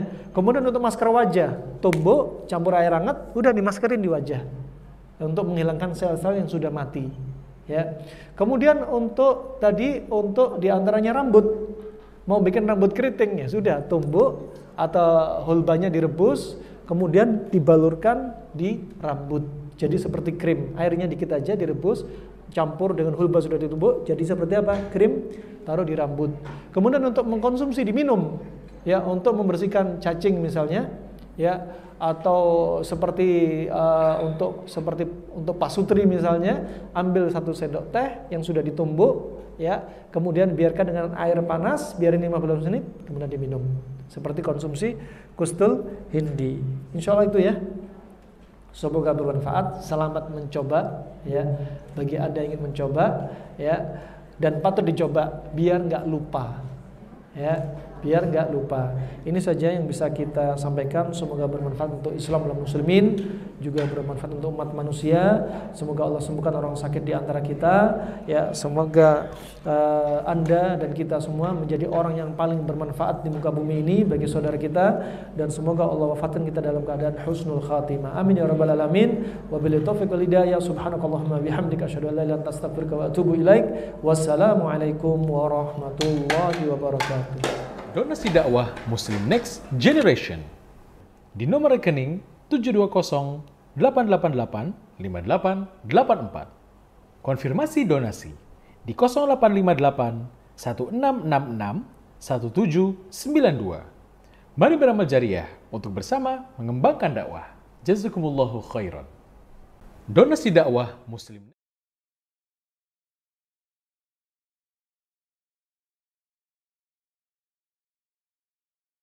Jumiatin dan Pujaina pun. Dan subhanallah hari-hari ini juga memang musim ya. Hari-hari ini musim terutama dari panas ke dingin hujan. Dan ini biasanya sering terjadi uh, sakit terkait dengan perubahan cuaca.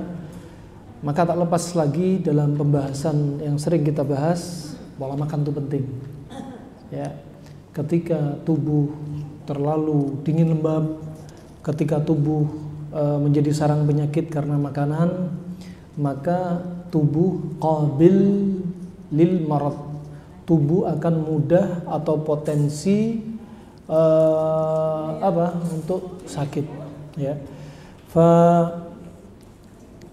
pada kesempatan kali ini kita akan lanjut, lanjutkan dari kajian kita bedah buku La Tayas Shifa al Kakarib ya setelah kita uh, masuki pembahasan uh, dari mukaddimah pada kesempatan kali ini halaman 26 27 kita buat judul penyakit Anda dan obat Anda. Beliau termasuk uh, yaitu Bapak kedokteran Yunani. Bahkan disebutkan beliau lahir 370 sebelum Masehi atau 460 sebelum Masehi berarti jauh dari ya sekitar hampir tiga yaitu 300 tahun lebih sebelum Nabi Isa lahir.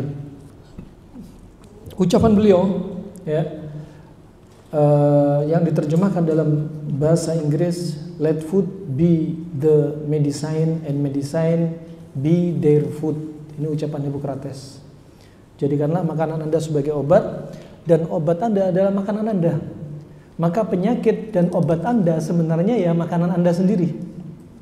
Kalau Anda tidak menjadikan makanan Anda sebagai obat, maka apa? Obat-obat yang ada di zaman kita sekarang dari obat-obat di apotik akan menjadi menu makanan kita. Nah, ucapan Hippocrates ini ya juga uh, didukung dengan ucapan dokter Arab klasik yaitu Al Harith bin Al Kaldah yaitu Al Harith bin Al Kalda Al Thaqafi ya dokter yang hidup di zaman Nabi SAW belajar ilmu kedokteran dari Persia dan pada akhir hayatnya dikatakan Al Hafidh bin Hajar beliau masuk Islam. Beliau masuk Islam.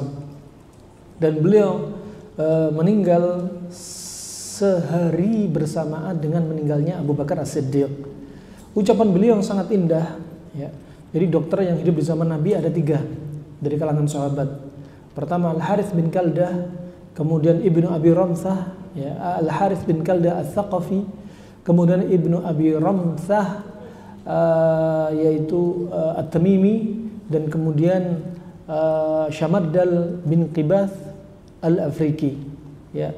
Yang ketiga adalah Syamardal bin Qibath, orang dokter di zaman Nabi dari Afrika. Dan termasuk ucapan Al Harith bin Kaldah dia berkata bahwasanya al-himyatu ra'sud dawa wal ma'idatu baitud da wa awidu al-jisma ma'tad. Ini ucapan beliau yang menunjukkan apa? Penyakit Anda, makanan Anda, ya eh, penyakit Anda, obat Anda ya makanan Anda. Penyakit Anda, obat Anda ya makanan Anda. Karena mayoritas penyebab penyakit ya karena makanan maka penyakit tersebut diobati dengan makanan dengan makanan Sudah kita sebutkan dalam pertemuan yang lalu ya bahwasanya asalnya tubuh ini dalam keadaan apa? Sehat al-afiyah. Tubuh dalam keadaan sehat al-afiyah ya sebagaimana uh, dalam pertemuan sebelumnya untuk kita ulang murojaah dari ucapan dokter Arab ini ya bahwasanya dia sampaikan uh, bahwasanya al-ma'idatu perut atau lambung ini adalah apa termasuk apa? Baitudda, rumahnya penyakit. Baitudda wal himyatu dan menjaga pola makan adalah termasuk inti dari pengobatan. Ra'sud dawa. Ya. Kemudian apa? Wa awidu wa awidu al jisma ma'tad. Ma'tad. Nah, disebutkan Perut adalah sarangnya penyakit dan menjaga pola makan adalah inti dari obat. Kembalikanlah tubuh pada kondisi asal. Kondisi asal kita di sini normal. Ya, sehat alafiah. Sehat. Makanya nanti di yaumul kiamah di padang mahsyar kita akan ditanya sebagaimana hadis Nabi SAW dalam pertanyaan nanti masing-masing kita akan ditanya alam nusihha laka jismak? Ini pertanyaan hadis yang sahih. Bukankah telah aku jadikan pada diri anda semua tubuh yang sehat? Akan ditanyai. Kalau kita sakit juga akan ditanya wong asalnya kita diciptakan sehat? Siapa yang bikin sakit? Ya kita karena kita yang menyerumuskan diri kita kita pada penyakit. Ya. Kemudian bahkan dikabarkan wa nurwika minal ma'il barid. Wa nurwika minal ma'il barid dan kami telah beri Anda semua dengan air dingin yang menyegarkan. Ini pertanyaannya. Kemudian juga ingat firman Allah Subhanahu wa taala. Ini hadis Nabi. Hadis Nabi. Kemudian firman Allah Subhanahu wa taala ya. Firman Allah ya. Thumma latus alunna apa? Yauma idzin anin naim. Ya. Sebutkan di sini dan kemudian pada hari nanti Anda betul-betul akan ditanya pada hari itu tentang kenikmatan. Bukan hanya nikmat harta nikmat waktu luang juga termasuk nikmat kesehatan Nikmat kesehatan juga masuk di sini. Anda dari sehat kemudian jadi sakit akan ditanya. Nah, ini yang perlu kita perhatikan. Wah, kemudian coba dan ini sehat karena apa di antaranya ini pola makan menjaga pola makan. Pola makan contohnya ya seperti makan sering kombinasi panas dingin. Ya, contoh juga kalau, kalau makan nggak terlalu kenyang, juga nggak terlalu lapar. Bukan hadis Nabi, tapi apa? Maknanya benar. Kalau makan jangan sampai kenyang. Ya, walaupun hadisnya lemah, tapi maknanya benar. Jangan sering terlalu kenyang. Ya, juga uh, jangan sering puasa terus. Tubuh punya hak, gitu ya. Kemudian kalau makan jumlahnya jangan berlebihan. Ya, termasuk kombinasinya yang benar. Termasuk lihat makan di jam-jam yang direkomendasi untuk makan nanti akan kita oh, kita bahas. Kemudian eh, makannya makan yang halal-halal jelas ya. Kemudian makannya eh, di kanan ya. Kemudian panas apalagi berlebihan ya maka nanti akan muncul gangguan ya atau penyakit yang sifatnya panas. Ya. Sebaliknya, dingin ketemu dingin. Akan pun muncul gangguan atau penyakit sifatnya dingin. Coba. Ya. Kemudian kata beliau kata dokter Arab ini dan kembalikanlah tubuh pada kondisi asalnya. Ini loh kondisi asal. Kalau ada seperti ini berarti keluar dari kondisi asal, maka kembalikan ke kondisi asal. Bagaimana cara mengembalikan ke kondisi asal? Dicari lawannya, dingin. Sehingga normal. Ya. Ini juga demikian, kasih lawannya panas. Sehingga kembali ke kondisi, kondisi asal. Coba. Ya. Dan subhanallah, ya. Sumbernya penyakit itu dari apa sih?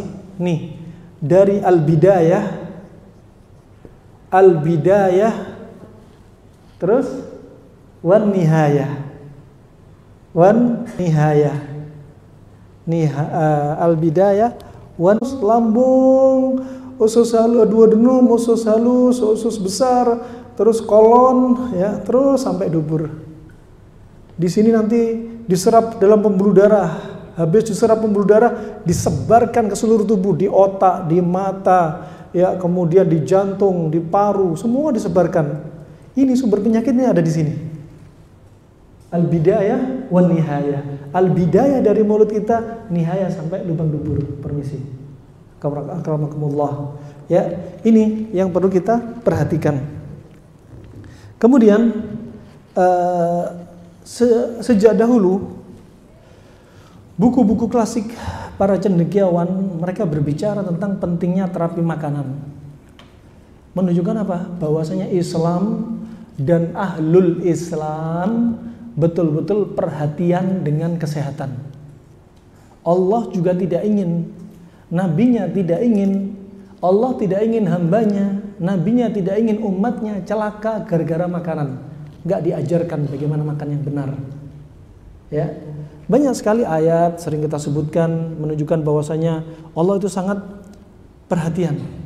Ya, Allah sangat perhatian dengan urusan makan kita yang sering kita sebutkan di antaranya walladzina kafaru yatamatta'una wa yaquluna kama taqulul an'am dan mereka orang-orang yang tidak beriman kepada Allah Subhanahu wa taala mereka itu kalau makan makannya seperti binatang ternak merasakan lezatnya makanan ya, binatang ternak katakan sapi kalau lihat savana padang rumput hijau walaupun perutnya sudah buncit tetap dia makan ngunyah terus ya makanya bagaimana sih cara makannya orang muslim surat al-a'raf ayat 31 Wakulu washrabu wala tusrifu. Makan dan minumlah dan jangan berlebihan. Ya. Fa ini termasuk apa? Banyak isyarat. Allah juga berfirman, "Falyanzuril insanu ila ta'ami." Maka manusia hendaknya melihat makanan yang dia makan. Nah, kemudian kita lanjutkan. Termasuk Bapak kedokteran Arab klasik, siapa tadi namanya? Dari kalangan sahabat Al Harith bin Kaldah. Jadi sebenarnya Bapak kedokteran Islam sebenarnya bukan Ibnu Sina. Di zaman Nabi ini ada dokter dari kalangan sahabat. Dan dia sangat mahir. Dan Nabi sering kalau ada sahabatnya sakit disuruh berobat ke dia. Ya, mereka siapa sahabat? Orang-orang yang menegakkan bendera tauhid, bendera Islam. Ya, fa, mereka yang sebelum sebenarnya lebih pantas dijuluki, dijuluki sebagai bapak kedokteran Islam di zaman Nabi. Nah, fa juga Al Harith bin Kalda ini pernah atau sering bermajelis dengan Umar bin Khattab. Umar bin Khattab sering bertanya tentang kesehatan, tentang makanan kepada Al Harith bin Kalda. Dan pertanyaan dan jawaban ini kemudian dibukukan. Ya, dibukukan. Ya. E, begitu pula orang Cina juga demikian. Sekitar tahun 3000 tahun sebelum Masehi, ya, uh, ada buku dikenal dengan Huang Dinejing, kitab klasiknya Cina yang di situ adalah dialog antara kaisar kuning Cina dengan dokternya, tabibnya. Dan pertanyaan itu dibukukan dalam buku ini. Fa ini ya. Kemudian ditemukan pernyataan ringkasan dari dialog tersebut, intinya apa? Penyakit yang tidak bisa disembuhkan dengan obat ternyata bisa disembuhkan hanya dengan makanan. Simple. Kenapa kita nggak pede dengan makanan? Ya, kenapa kita harus selalu yang kita bayangkan uh, obat-obat yang ada di apotek, obat-obat yang ada di pasaran, ya, atau obat-obat instan apa pun, obat sebenarnya ada di sekitar anda. Nah, obat uh, modern seperti obat kimia di sekarang halal, bukan haram, bukan makruh, halal. Tapi apa? sebagaimana para ahli pengobat di masa silam baik Yunani baik Arab ya mereka mendahulukan pengobatan yang jauh dari efek samping ambil kemungkinan efek samping yang paling ringan. Kalau bisa yang jangan nggak ada efek sampingnya. Ya. Jangan seperti memberikan obat dikasih obat darah tinggi asmanya kambuh. Dikasih obat asma darah tingginya kambuh. Dikasih obat rematik sakit mahnya kambuh. Nah fa, begitu seterusnya. Jangan. Tapi cari obat yang betul-betul apa? Jauh dari efek samping. Jauh dari efek samping. Fa, ini maka khulasahnya tagline yang mungkin bisa jadi bahan tadabbur jadi sehat atau sakit gemuk atau kurus ideal atau enggak itu adalah juga termasuk pilihan anda Jangan salahkan takdir Allah Subhanahu wa taala. Jangan salahkan takdir Allah Subhanahu wa taala. Oleh sebab itu perbaikilah menu makanan Anda, jadikan dia sebagai obat. Bila tidak, maka ada saatnya Anda akan menjadikan obat sebagai menu makanan Anda setiap hari. Nah, subhanallah karena makanan yang dimakan nggak diperhatikan, ini makanan halal apa haram, ini makanan e, pantangan nggak bagi tubuh dia, ini makanan uh, bagus nggak untuk tubuh dia, ini makanan cocok nggak dikonsumsi di jadwalnya, ini makanan berlebihan nggak ketika saya konsumsi, ketika dia nggak perhatian, ini makanan kombinasi benernya bener apa enggak ini kombinasinya. Ketika hal-hal ini nggak diperhatikan, maka saatnya akan ada saatnya dia apa? Harus minum obat-obatan eh, yang ada di luar yang ada di pasaran gara-gara pola makan dia yang tidak dijadikan obat. Ya akhirnya apa? Sebelum makan karena makanan nggak dijadikan obat akhirnya sebelum makan minum obat sakit mah. Setelah makan minum obat kolesterol. Ya setelah makan minum pengencer darah setelah makan minum darah tinggi mau tidur minum dia sepam ya bangun dari tidur ya minum panadol karena pusing ya bangun dari tidur perut kembung minum simetikon ya Subhanallah bangun dari tidur kaki tangan kesemutan, kasih balsem.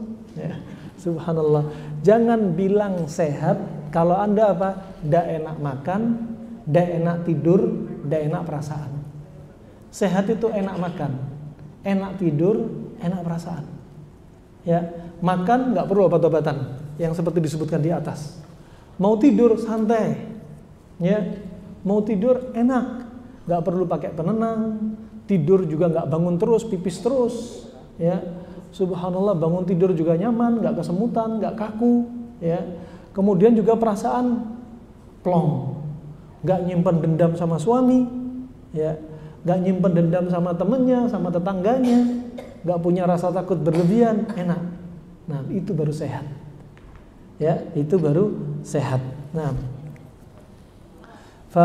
kemudian Uh, ilmu kedokteran modern juga melihat bahwa faktor makanan mempunyai pengaruh besar terhadap keluhan, sakit, dan penyakit. Mereka menyimpulkan bahwa 90% penyakit merupakan akibat dari pola makan. Ini sebagaimana disampaikan oleh para ahli gizi se-Indonesia. Mereka sepakat, ya. Mereka sepakat termasuk Profesor Muhammad Sulhan, ya. Beliau guru besar Fakultas Kedokteran Undip. Beliau termasuk murid dari kata pengantar yang ada di dalam buku ini ya Profesor Dr. Rahmat Suge SPGK SPGM beliau di Cempaka Putih Cempaka Putih Barat beliau termasuk di antara pembina dari Masjid Al Azhar Cempaka Putih Barat ya usia beliau sudah 83 tahun dan beliau masih aktif di klinik rumah sakit juga sebagai dosen di kedokteran UI Nah, semoga Allah jaga beliau dan berikan keberkahan kepada beliau. Kemudian Anda lihat halaman 29. Ya. Anda lihat halaman 29. Ada gambar otak, ada gambar usus. Ya. Makanya usus kerap dianggap sebagai otak kedua. Usus dianggap sebagai otak kedua. Nah, dan sistem imunitas 60% sistem imunitas tubuh berpusat di sistem pencernaan. Kita bahas nih ucapan ini. Ya. Baik, sekarang kita ingin tadaburi.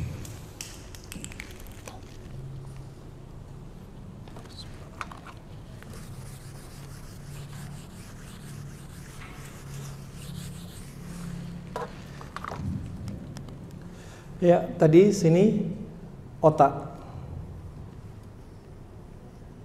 Ya. Otak. Ya. Ini usus.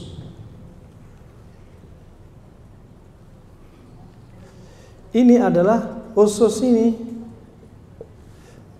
Kepala ini, otak ini satu. Usus ini adalah otak dua. Dan 60% imunitas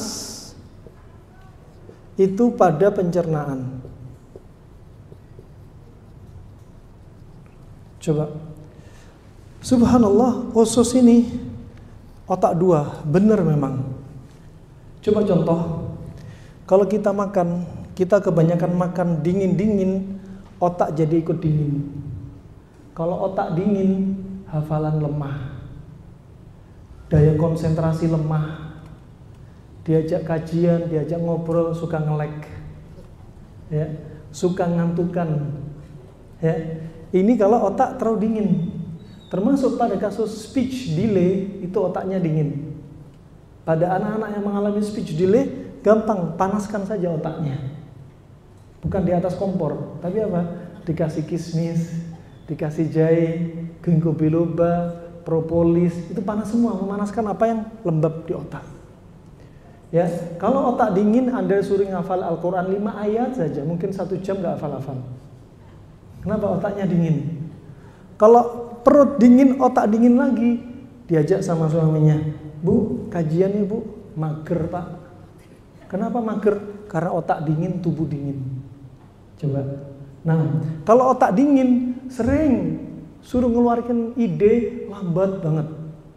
Otaknya dingin. Nah, kemudian subhanallah, usus ini otak kedua sangat pengaruh sekali. Bahkan disebutkan Imam Al-Ghazali, Imam Asy-Syafi'i, Ibnu Qayyim rahimahullah, orang yang kebanyakan makan dirinya akan dikuasai oleh syahwat dan dia akan mudah untuk melakukan maksiat dan berpikir untuk berbuat maksiat. Ternyata banyak makan berdampak kepada akal dan otak. Nah, berdampak kepada akal dan otak. Nah, subhanallah juga 60% imunitas pada pencernaan. Contoh dalam kedokteran modern disebutkan orang yang banyak minum air dingin dan es-es kekebalan tubuhnya akan turun. Coba, ini pembahasan beliau. Orang kebanyakan minum air dingin, es, kekebalan tubuhnya akan turun.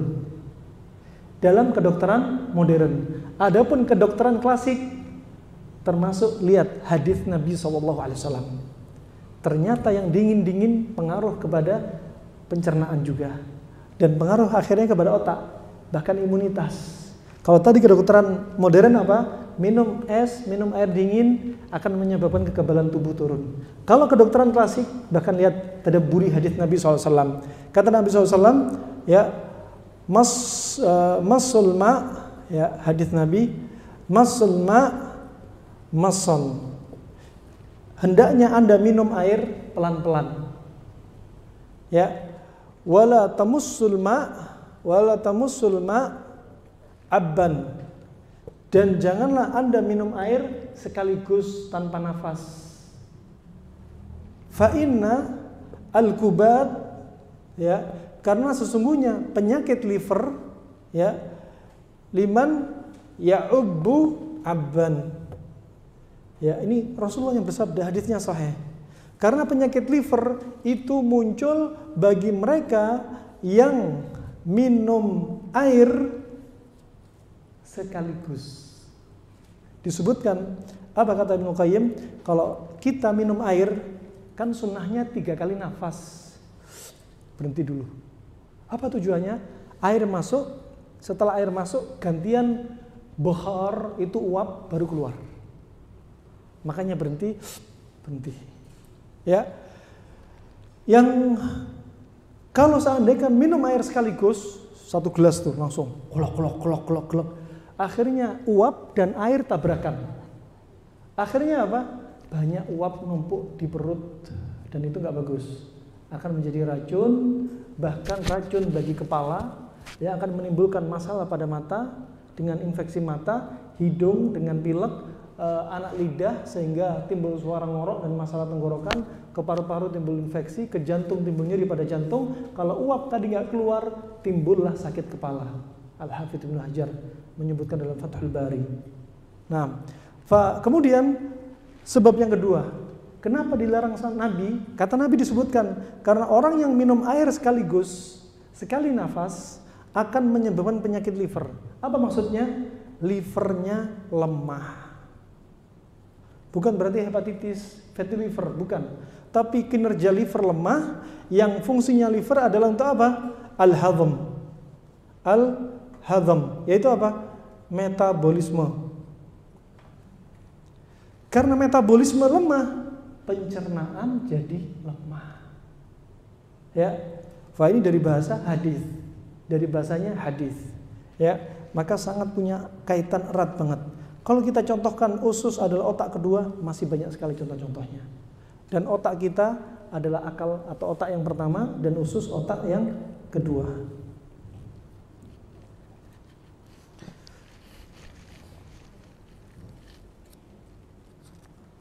Kemudian halaman 30. Secara medis, otak dan sistem pencernaan sebenarnya memang memiliki hubungan spesial. Otak kerap dianggap sebagai otak kedua, yaitu usus dianggap sebagai otak kedua. Atau sistem saraf tubuh yang terbesar kedua setelah otak. Sistem saraf tubuh yang kedua setelah otak yaitu di usus. Ya. Dan lebih dari 60% sistem imunitas tubuh berpusat di sistem pencernaan.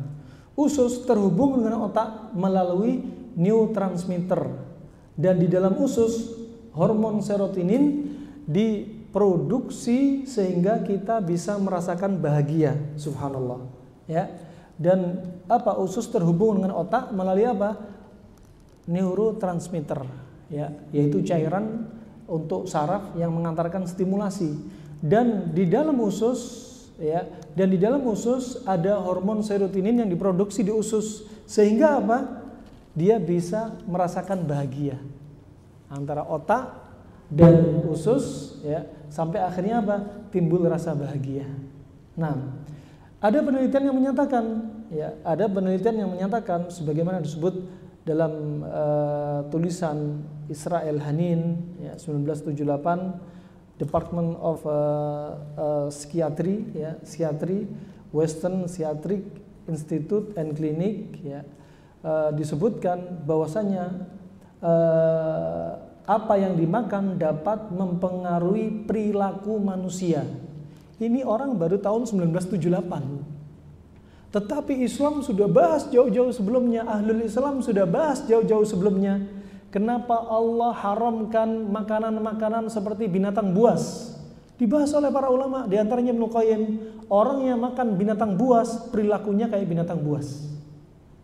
Bukan hanya makan, termasuk Anda tidak dianjurkan menggunakan pakaian dari kulit binatang buas karena akan membawa perilaku pada diri Anda. Pakai pakaian masya Allah bajunya macan tasnya tas ular. Jilbabnya apa lagi bu? Jilbabnya nanti apa lagi gitu ya kucing atau apa gitu ya jangan ya. Nah, subhanallah apa? Membawa perilaku. Bajunya macan kalau ngomong dikit-dikit ngegas. Temannya dibentak. Nah, membawa perilaku ya makanan juga demikian Allah haramkan dari binatang buas kenapa karena ada bahaya di balik itu Allah tidak akan mengharamkan suatu kecuali pasti ada bahaya. Allah tidak akan memerintah suatu kecuali pasti ada kebaikan untuk hamba Allah Subhanahu wa taala. Ya. Fa ini rahmatullah jami'an uh, wa rahimakumullah. Fa dia sebutkan di sini teori itu disebut teori neurotransmitter. Kata Profesor Sulhan ini dalam seminar sehat badanku berkah puasaku di Masjid Kampus Universitas Diponegoro Semarang. Ya.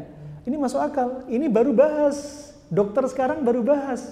Dokter klasik, dokter Islam udah jauh-jauh membahas. Ya, udah jauh-jauh bahas sampai ya, bukan hanya kasus permisi, kasus homoseks. Baik lesbian atau gay. Ya. Ini pada manusia. Ya. Dan ada pun pada hewan saja kalau ada manusia laki-laki mendatangi sapi. Ini terjadi kelainan, kelainan seks, permisi. Karena apa? Membawa karakter. Dan sampai kata para ulama, sapi ini harus dibunuh. Segera disembelih. Kenapa? Kalau nggak disembelih, perilaku sapi akan nulari ke sapi yang lain. Coba ini hewan padahal. Apalagi manusia punya akal, ya. Yang dia mukallaf, ya, punya akal. Diperintah untuk ibadah. Ketika sudah terjadi perubahan perilaku, ini akan nular. Nah, fa, kemudian oleh karena itu eh, apa antara usus dan kepala tadi sangat ada kaitannya. Kemudian dari pembahasan orang-orang yang eh, seperti ahli di bidangnya bahwasanya antara tadi kepala dan usus sangat ada kaitannya ya usus eh, dan otak ini sangat ada kaitannya. Setelah kita sebutkan usus tadi otak kedua ya otak satu adalah di kepala nih disebutkan oleh ahlinya bahwasanya ini makanan yang kita makan itu sangat berdampak kepada otak. Dari sisi apa? Nih yang paling besar sistem endokrin hormon. Endokrin. Sistem endokrin. Di kepala ini ada organ kecil namanya pituitari seperti kacang. Dan subhanallah dari makanan yang dimakan kemudian diserap pembuluh darah dan pembuluh darah menyebarkan darahnya ke seluruh tubuh. Kalau yang dimakan jorki-jorki darahnya jadi ikut jorki. You are what you eat ya you are what you eat. Ya, what you eat. Apa yang Anda makan ya diri Anda seperti itu. Kalau Anda makan jorki-jorki, darah Anda ya jorki. Ya, kalau Anda makan-makan panas ketemu panas terus penuh, lambung Anda sifatnya panas, penyakit yang muncul juga sifatnya akan panas. Kalau Anda banyak dingin-dingin, akhirnya apa? Tubuh Anda akan dingin dan akan muncul penyakit atau masalah kesehatan sifatnya dingin. Ya, itu ya. Fa ini ternyata pengaruh pada sistem endokrin dan di sini ada kelenjar pituitari, master of gland, rajanya kelenjar. Kalau makanan dimakan jorki-jorki, kombinasi nggak perhatian, pantangan nggak perhatian, jumlah makanan nggak perhatian, frekuensi makan nggak perhatian, makan di jam berapa nggak diperhatikan, ya antara makan dan minum nggak dikasih jarak nggak diperhatikan, lama-lama darah tadi akan menyerap sesuatu yang kotor dan nggak baik dari usus dibawa ke seluruh tubuh, termasuk berdampak kepada sistem endokrin. Di sinilah yang akan mengacaukan masalah kesehatan. Kenapa ada orang mandul, nggak subur? Ini penyebabnya. Ya, hormon. Kenapa? Kacau. Berapa banyak kami dapati di antara teman-teman yang konsultasi, saya kadang nggak ngasih resep kesuburan. Perbaiki pola makan Anda, wahai suami, wahai istri, dua bulan.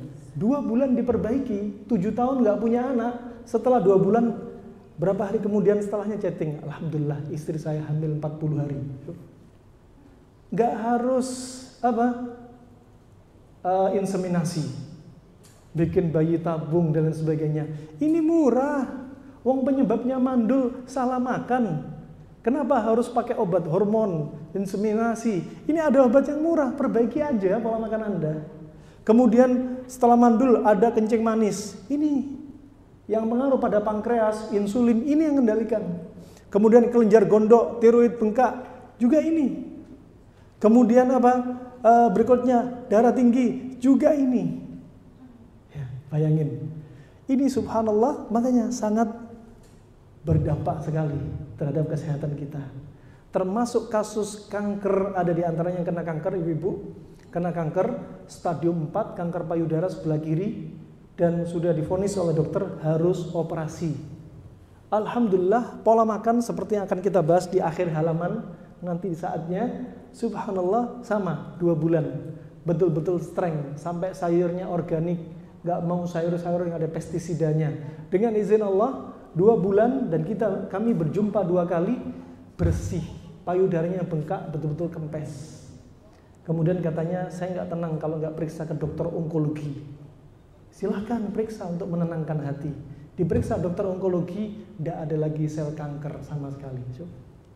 Makanan kita memang perilakunya kok. Kenapa kita susah-susah cari obat harus impor? Ya, harus impor obatnya atau orangnya yang ekspor keluar berobat ke luar negeri. Nggak usah ini makanan kita. Penyakit itu nggak jauh dari obat. Obat nggak jauh dari penyakit. Nah, ini contoh ya untuk mentadaburi apa open mind biar anda mindsetnya berubah ya anda nggak terlalu panik ketika sakit obat ada di sekitar kita dan jangan dianggap berat sudah ambil kemungkinan yang terburuk di awal ketika sakit tanpa mengambil sebab apa sebab-sebab yang mudah kata Rasulullah inna din yusur wala yusa wala dina ahadun illa ghalabah agama ini mudah. Barang siapa memperberat dirinya sendiri, dia akan kalah. Sama, sehat itu mudah, murah. Barang siapa yang menganggap ini terlalu berat, dia akan kalah. Berobat ke sana kemari, udah keluar negeri, beli obat sekian puluh juta, ujung-ujungnya kembali pola makan. Rugi berapa banyak? Nah, contoh, lihat. Untuk Anda tadaburi, penyakit gak jauh dari obat. Penyakit, penyakit dan obat itu dekat. Dekat, nggak usah jauh-jauh. Dalilnya apa? Satu, hadis Nabi. Satu, ya hadis Nabi ketika Nabi bersabda tentang apa? Tentang lalat. Idza waqa'a dzubab fi ina'i ahadikum falyakmishu thumma liyanzahu fa inna fi ihda jadai da wa fil ukhra shifa. Kata Rasulullah, kalau ada bejana di tempat kalian, ya ini air, ya airnya air panas, apalagi panas. Panas kalau kemasukan lalat, cepat nyebar penyakitnya. Tapi kalau model kayak jelly-jelian, kental-kental, tidak nyebar cepat. Karena medianya air, apalagi airnya panas, kemasukan lalat, satu sayap membawa penyakit langsung disebarkan dalam waktu cepat. Makanya Nabi bilang, falyak mishu, Falyakmishu bukan diartikan maka celupkanlah, tapi apa? Maka cepat celupkanlah. Karena huruf fa dalam bahasa Arab memberikan makna surah, cepat-cepat. cepat celupkan. Jangan, aduh ada lalat ibu-ibu, celupin yuk gitu. Ya. Cepat celupkan. Kemudian apa? Sumalian za'u, kemudian cepat buang. Ketika ada ada kata kata cepat dicelupkan, kata para ulama apa? Di situ mekanisme yang sebenarnya dijadikan apa kita bagaimana nyemplungin alat ada mekanisme dari Nabi ya untuk dilakukan cepat-cepat kemudian cepat dibuang. Karena ketika satu sayap cepat nyebarin penyakit cepat dicelupkan satu sayap seperti kondisi apa? Bom diambil detonatornya diledakkan. Jadi satu sayap meledakkan antibakteri dari sayap yang satunya. Disebutkan ahli laborat dari Mesir satu sayap tadi membawa bakteri lebih dari seribu bakteri. Dan satu sayap satunya hanya membawa satu bakteri untuk meledakkan, membunuh ribuan bakteri. Subhanallah. Ya, coba itu coba. Jadi penyakit gak jauh dari obatnya. Makanya Allah Nabi SAW bersabda, "Ma anzalallahu da'an ila anzalalahu syifaan." Allah nggak akan turunkan penyakit kecuali Allah turunkan obatnya termasuk HIV AIDS jangan bilang nggak ada obatnya hepatitis B jangan bilang nggak ada obatnya ada semua nah fa ini lalat kalau masuk. Makanya cepat celupkan cepat buang Bismillah minum. Ya ada yang tanya kalau saya nggak tega gimana? Ini kan lalat. Habis hinggap di mana? Perutnya isinya apa? Baunya kayak apa? Jengkelin lagi tariannya. Ya saya celupin diminum, ah nggak tega walaupun sunnah saya jalankan. Terus gimana nasibnya? Kalau nggak tega, Anda tidak boleh memaksakan diri Anda untuk minum makanan atau minuman yang nggak tega atau Anda nggak suka. Jangan dipaksa. Jangan dipaksa. Ima kasih orang lain, kalau nggak tega, siramin pada tanaman, misalkan yang manfaat yang lainnya. Tapi kalau ini kopi harganya 70 ribu, mubadir, dibuang. nah, ini ya, satu. Kedua, contoh hadis. Hadis Nabi tentang apa? Tentang lemak dan daging sapi. Nabi bersabda, kata Nabi SAW, alaikum, ya kata Nabi, alaikum, ya bi albani al-baqar wa sumnuha dawa wa luhumuha luhumuha da ini hadis sahih. Kata Nabi apa? Hendaknya anda sering konsumsi susu sapi. Ya susu sapi. Ya. Nah susu sapi ini tentunya di zaman Nabi tentunya yang dimaukan fresh bukan powder. Mau tinggi kalsium nggak tinggi kalsium bukan. Karena kalau susu sapi fresh sifatnya dingin kalau susu sapi powder bubukan sufor sifatnya panas udah beda ini susu sapi di antaranya sunnahnya habis minum susu sapi kumur-kumur. Apa kata Rasulullah? Karena di dalam susu sapi ada dasem, ada lemak. Lemak itu akan merusak gigi. Coba Islam betul-betul indah. Ajaran mana yang sedetail ini? Kata Abdullah bin Umar, kalau ada makanan di gigi, bersihkan. Apalagi makan malam sebelum tidur. Bersihkan. Karena baqaya minat ta'am, sisa makanan yang ada di gigi, yuhinu al-adros. Al-adros akan membuat gigi geraham lemah, cepat rusak. Coba. Ini sahabat yang mewasiatkan. Nah, susu sapi sebagai obat dan termasuk ketika minum habis minum susu, ya, uh, di antaranya ada doa khusus, ya, setelah minum susu. Nah, Allahumma barik alaih wazidna alaih. Kalau nggak gitu ya, kalau nggak salah gitu ya. Nanti di lagi ya, diulangi lagi. Allahumma barik alaiha wa zidna alaiha kalau nggak salah gitu. Nah, wallahu alam nanti di. Kemudian uh, berikutnya wasumnuha lemak sapi. Lemak daging bukan lemak jeruan. Lemak sapi ini adalah obat. Coba Bu. Jadi tunjang itu obat, gajibo itu obat. oh yang orang Padang. Nah, kemudian waluhu waluhu muhada dan daging sapi itu penyakit. Coba penyakit nggak jauh dari obat. Kalau makan daging sapi sama Iya, itu mindset yang harus dirubah. Oh, lemak sapi itu penyakit. Loh, Nabi bilang lemak sapi itu obat. Obat untuk apa? Lemak sapi itu sifatnya adalah panas, lembab. Daging sapi sifatnya dingin, kering. Dingin kering pada daging pada daging sapi ini kata Ibnu Qayyim akan membuat was-was. Akan menjadikan darah kotor, akan menjadikan kaki gajah, akan menyebabkan kanker, akan menyebabkan benjolan-benjolan dalam tubuh. Makanya kalau ada ibu-ibu kena kanker, jangan konsumsi daging sapi. Kalau ada ibu-ibu, bapak punya dedimer tinggi, darahnya sudah kental, jangan konsumsi daging sapi. Ya, kalau ada benjolan-benjolan di tubuh, jangan konsumsi sapi. Kalau ada orang punya gangguan kejiwaan seperti was-was, jangan konsumsi daging sapi. Coba, ajib. Kasih ini, kasih penawarnya, makanya lemak sapi. Kalau nggak mau lemak sapi, kata Ibnu Qayyim, penawarnya bisa di antaranya apa?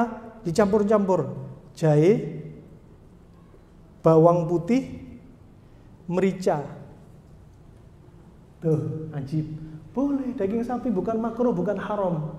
Tapi apa? Dikonsumsi yang benar jumlahnya, ya kapan waktunya, dikombinasi dengan apa. Berarti apa? Penyakit nggak jauh dari obat. Makanya kalau Anda konsumsi kacang biasanya dengan apa? Konsumsi kacang dengan apa? Kulit ari. Ternyata kacang yang katanya tinggi kolesterol, kulit arinya sebagai anti kolesterol. Subhanallah di Jepang, orang-orang Jepang menjual kulit ari kacang sebagai obat manjur untuk kolesterol.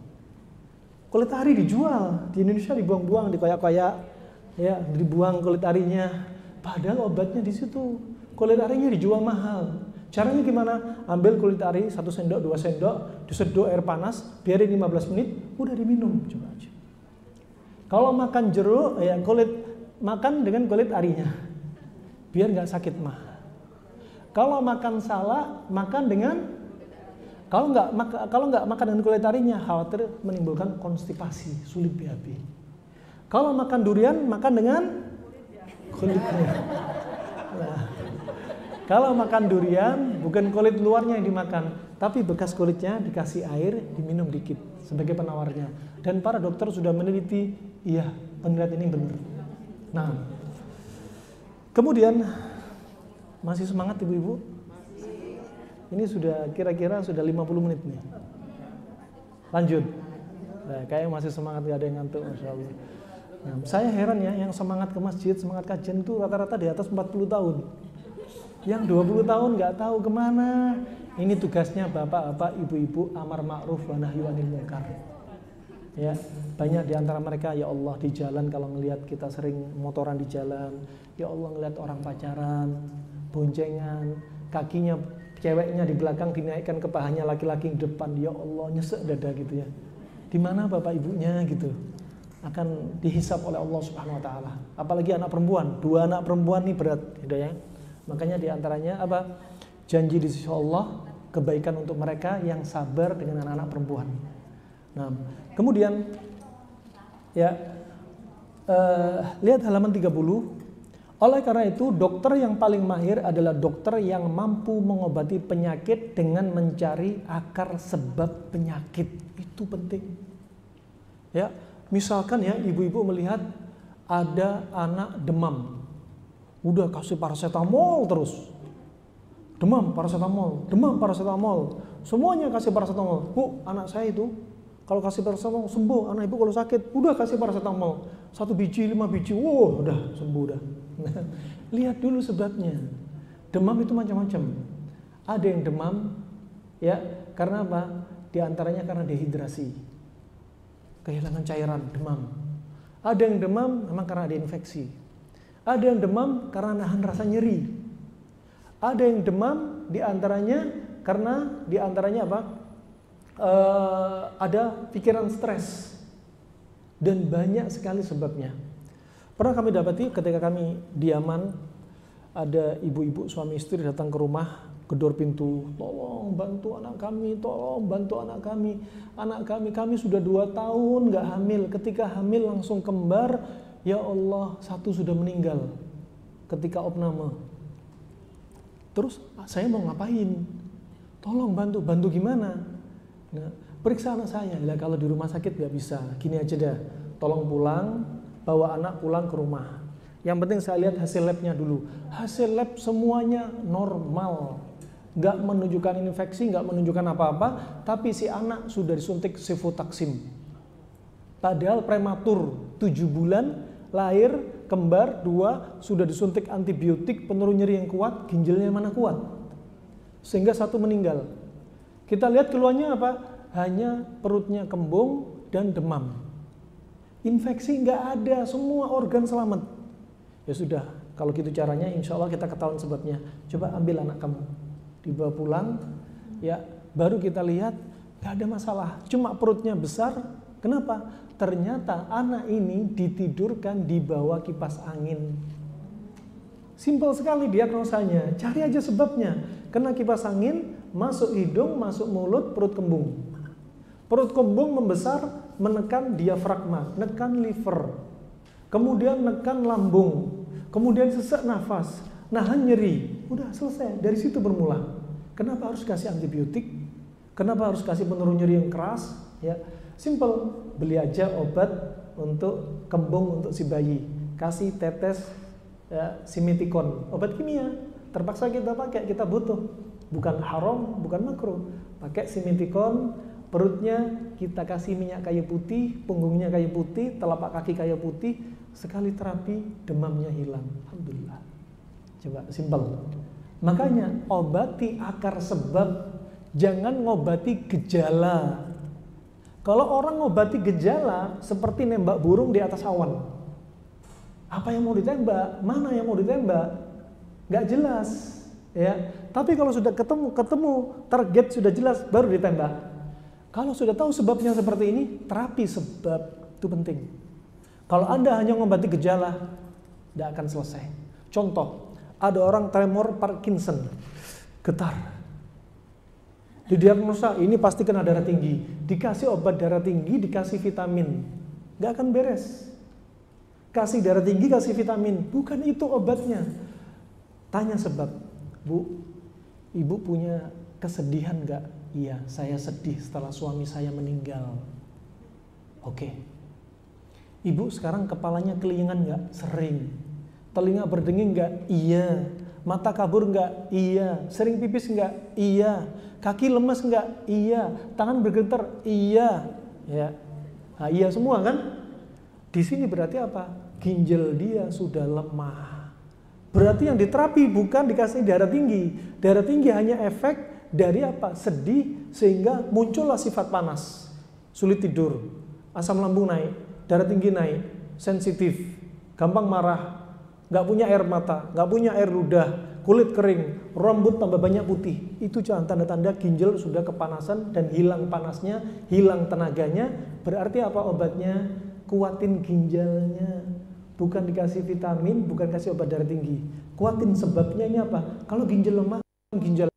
Di antara untuk menguatkan ginjal, obat sedih dari Nabi. Apa ibu-ibu? Apa ibu-ibu? Apa? Talbina. Alhamdulillah nggak ada yang jawab dolar. Obatnya sedih dolar, gitu. matanya hijau. Nah, wah obatnya sedih talbina dari hadis Jabir riwayat Imam Muslim at-talbina tu mujimmatun lil fuadi tudhibu li ba'dil huzni. Talbina itu ya untuk merilekskan jiwa. Ini Nabi yang bilang dan menghilangkan sebagian rasa sedih. Ini hadis Nabi. Adapun orang Cina, kedokteran timur, Tibet, mereka meneliti ternyata tepung gandum yang disebutkan Nabi itu adalah sebagai tonik penguat ginjal yang apinya sudah lemah.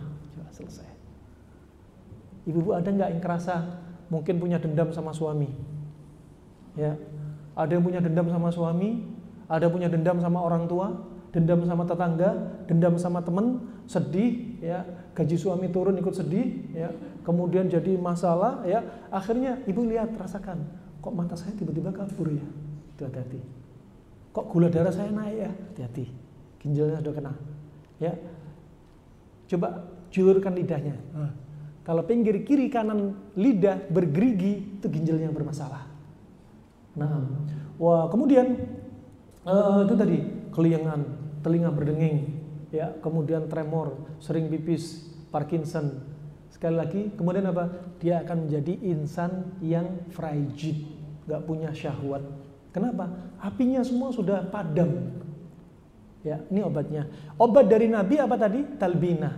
Adapun hadis, ini hadis sahih. Adapun satu hadis, hadisnya lemah. Ya, obat kesedihan adalah dubba. Apa itu dubba? Labu kuning. Kenapa? Talbina sifatnya dingin, sedih panas. Labu kuning dingin, sedih panas. Tapi hadis yang labu kuning ini hadisnya lemah, tapi para kedokteran klasik menyebutkan maknanya benar. Memang labu kuning itu mendinginkan plus menguatkan ginjal. Subhanallah. Ajib. Diteliti. Nah, makanya kalau lagi sedih jangan banyak makan cabai. Gampang marah, konsumsinya yang sering dikonsumsi merica, jahe, cabai. Ya, akhirnya suami sama anaknya digas terus. Marah terus. Makanya makanan Anda berdampak pada karakter. Kalau Anda tahu diri Anda pemarah, jangan konsumsi panas-panas. Masya Allah daging kambing, sayurannya kangkung, bayam, terong, ya. Kemudian oh, sambal terasi isinya cabenya, masya Allah seperempat kilo, cabenya merah, pakai merica, masya Allah terus ikannya ikan asin, panas semua, ya. Nasinya nasi putih, panas semua, ya. Jadilah insan yang mudah marah. Kemudian apa pada karakter? Penyakit yang muncul, penyakit sifat panas, darah tinggi. Penyakit yang muncul sakit mah, sakit mah sifatnya panas. Karena ada sakit mah sifatnya dingin, sakit mah sifatnya panas. Makanya nggak sama obat mah si ibu sama si ibu yang lain. Nggak sama. Kalau ibu biasa makan panas-panas, mahnya sifatnya panas. Berarti obatnya yang mah panas adalah dingin. Seperti apa? Timun, semangka, ya. Ya dingin gampang banget. Ya. Kemudian kalau ada orang suka dingin-dingin, mahnya akan bersifat berarti obatnya Kalau ada orang mahnya sifatnya dingin dikasih timun tambah mual. Obatnya dia apa? Jahe merah. Ya, coba simpel banget ibu-ibu ya. Ini konsep yang bisa dipegang ya. Kemudian sebelum kita tutup ya, kita buka lagi halaman berapa? 31. 31. Ini yang terakhir insya Allah. Berkata Ibnu Qayyim rahimahullah dalam Zadul Ma'ad jilid keempat halaman ke-9 dia katakan dokter adalah orang yang bisa membedakan kombinasi yang berbahaya bagi manusia. Kalau kombinasi ini sama ini akan menimbulkan penyakit Anda seperti ini. Ada orang darah tinggi. Dokter bilang Anda banyak-banyak makan kambing sama makan nasi. Berarti bukan dokter yang mahir. Sudah darah tinggi suruh banyak makan kambing sama nasi. Ya, kambing panas, nasi panas. Kalau ada orang yang mengatakan kambing jangan di domba hitamkan. Ya. Kambing itu nggak bikin penyakit, yang bikin penyakit bumbunya. Ini kata-kata yang salah, mindset yang salah. Kambing sendiri sifatnya panas. Dikasih santan panas, dikasih cabai panas, dikasih jahe panas, kasih merica panas, dikasihkan orang darah tinggi, mudah, telinganya merah. Nah, akan tambah panas. Ya. Berarti kalau kombinasi orang kena darah tinggi, jangan panas ketemu panas. Nah, ini dokter yang mahir. Kemudian berikutnya, atau sebaliknya, dia juga yang paham yang bisa mengkombinasi apa-apa yang membahayakan manusia jika yang seharusnya digabung itu dipisah. Harusnya ya makanannya panas dingin, ngobati penyakit kalau penyakitnya panas dikasih yang dingin. Ini baru dokter yang mahir. Ya. Kemudian atau dia yang bisa mengurangi apa-apa yang membahayakan manusia jika berlebihan. Kalau Anda darah tinggi, kebanyakan panas-panas, berarti akan Anda akan tambah bahaya. Maka pantangan Anda kurangi panas-panas. Ini baru dokter. Ya. Kemudian kata Ibnu Qayyim rahimallahu taala atau sebaliknya, dia yang bisa menambah unsur-unsur membahayakan tubuh. Nih, Anda darah tinggi, Anda tak bikin kena stroke. Caranya Anda tak kasih makanan ini ketemu ini, biar cepat kena stroke. Misal. Ini dokter yang mahir. Kalau ini ditambah ini bahaya untuk dia, dia mahir. Kalau ini ketemu ini jadi obat bagi dia, dia mahir. Nah, kemudian uh, sehingga melalui perantaranya, perantara dari ilmu yang dokter miliki ini, terciptalah kesehatan yang sebelumnya sempat hilang. Ya, tadi itu seperti garis lurus. Ini sebelumnya kan sehat. Kesehatan hilang itu apa? Ketika ke sana atau ketika ke sini. Dikembalikan gimana? Melalui obat ini biar kembali ke titik semula. Itu konsep yang sangat mudah sekali. Ya. Kemudian uh, dia yang mengobati penyakit yang diderita seorang dengan sifat makanan yang merupakan lawan. Jadi kalau ngobatin dokter ini gampang. Ya. Kalau ada penyakit panas, kasih lawannya, makan minuman yang dingin. Subhanallah kita pernah dapati dokter yang jujur dan pinter. Ada ibu-ibu kena kista, kista rahim. Ya, katanya harus dioperasi. Apa kata dokter? Bu, ngapain kista rahim dioperasi, Bu? Wong yang bikin kista rahim makanan ibu kok. Ngapain diangkat? Kalau saya angkat, ibu makannya tetap. Ya muncul lagi kista rahim. Coba. Ini dokter yang jujur dan pinter. Amanah. Dan dia tahu penyebab kista rahim dia adalah makanan. Obati makanan ibu. Udah perbaiki makanan ibu. Pulang aja dah. Nggak usah saya operasi pulang aja. Saya nggak butuh duit ibu. Yes, salam. Ibu pulang perbaiki makanan. Kalau perlu ibu tak kasih uang saku nih, beli makan yang sehat. Wah itu dokter yang keren tuh. Insya Allah banyak pasiennya kalau gitu. Kemudian uh, berikutnya uh, dan sifat penyakitnya sehingga mengeluarkan sifat penyakit dari tubuh ketika dipasangkan dengan lawannya atau melawan munculnya penyakit dengan menjaga pantangan. Menjaga pantangan itu termasuk inti dari obat dan Anda akan dapat bekal semua ilmu ini dari petunjuk Nabi Shallallahu Alaihi Wasallam secara sempurna dan komplit bihaulillahi wa quwwatih wa fadlihi wa ma'unatih dengan daya, kekuatan, keutamaan dan pertolongan dari Allah Subhanahu wa taala. Cukup sampai di sini. Jangan banyak-banyak. Ilmu kalau diambil banyak-banyak akan pergi banyak-banyak. Ya. Jadi mending sedikit tapi sering daripada banyak kemudian kabur semua. Itu ya ibu-ibu ya. Lihat berikutnya halaman 31. Halaman 31. Masya Allah. Ada satu dua pertanyaan silahkan. Mangga. Talbina tepung gandum. Ya, bismillah. Mari Bu. Buat bayi boleh. Bayi yang tentunya anu ya, 6 bulan ke atas ya. Kenapa? Iya, semacam itu. Iya Bu. Iya. Coba lihat Bu. Lidahnya. Ntar saya zoom dulu Bu. Iya, iya. Iya, Ibu banyak panas. Liver sama limpa Ibu kepanasan. Ya, berarti obatnya apa Bu? Betul. Bukan es ya. ya. Makanya dingin timun. Kalau pagi kurma sama timun, kurma sama semangka itu obatnya sakit mah. Obat sakit mah. Mungkin di awal-awal ibu nggak nyaman, perut sakit tahan. Itu mulai apa? Terapi healingnya mulai di situ. Direct of cure. Ya efek dari reaksi pengobatan mau dimulai. Sabar dulu aja. Nanti lemas, lemas, punggung sakit, nanti berjalan insya Allah normal. Ketika perut kosong, ibu usahakan selalu manis-manis kurma, semangka, kurma, timun. Itu ya. Nah, sama-sama. Pantangannya berarti apa, Ibu? Yang panas-panas. Nasi dikurangin, ya daging kambing kurangi, ya protein hewani cocok itu ibu berarti ikan segar. Ya, nggak apa-apa mau digoreng, mau direbus nggak apa-apa. Bukan segar artinya mentah. Ya. Nah. ya. Sering kesemutan, ya biasanya apalagi seusia ibu, ibu usia berapa sekarang? Masya Allah 76 biasanya banyak darah kotor satu dan pada usia seperti ini pembuluh darah mulai nyempit dua pembuluh darah mulai kaku tiga ada plak pada pembuluh darah. Ini akan menghambat darah lancar ke seluruh tubuh sehingga apa? Di mana ada penyempitan pembuluh darah pengentalan pembuluh darah di situ akan terjadi kesemutan. Ya caranya terapinya apa? Karena usia sudah sepuh ya bisa anda bekam bisa, fasdu juga bisa, tapi sedikit saja di daerah lokasi yang dibutuhkan.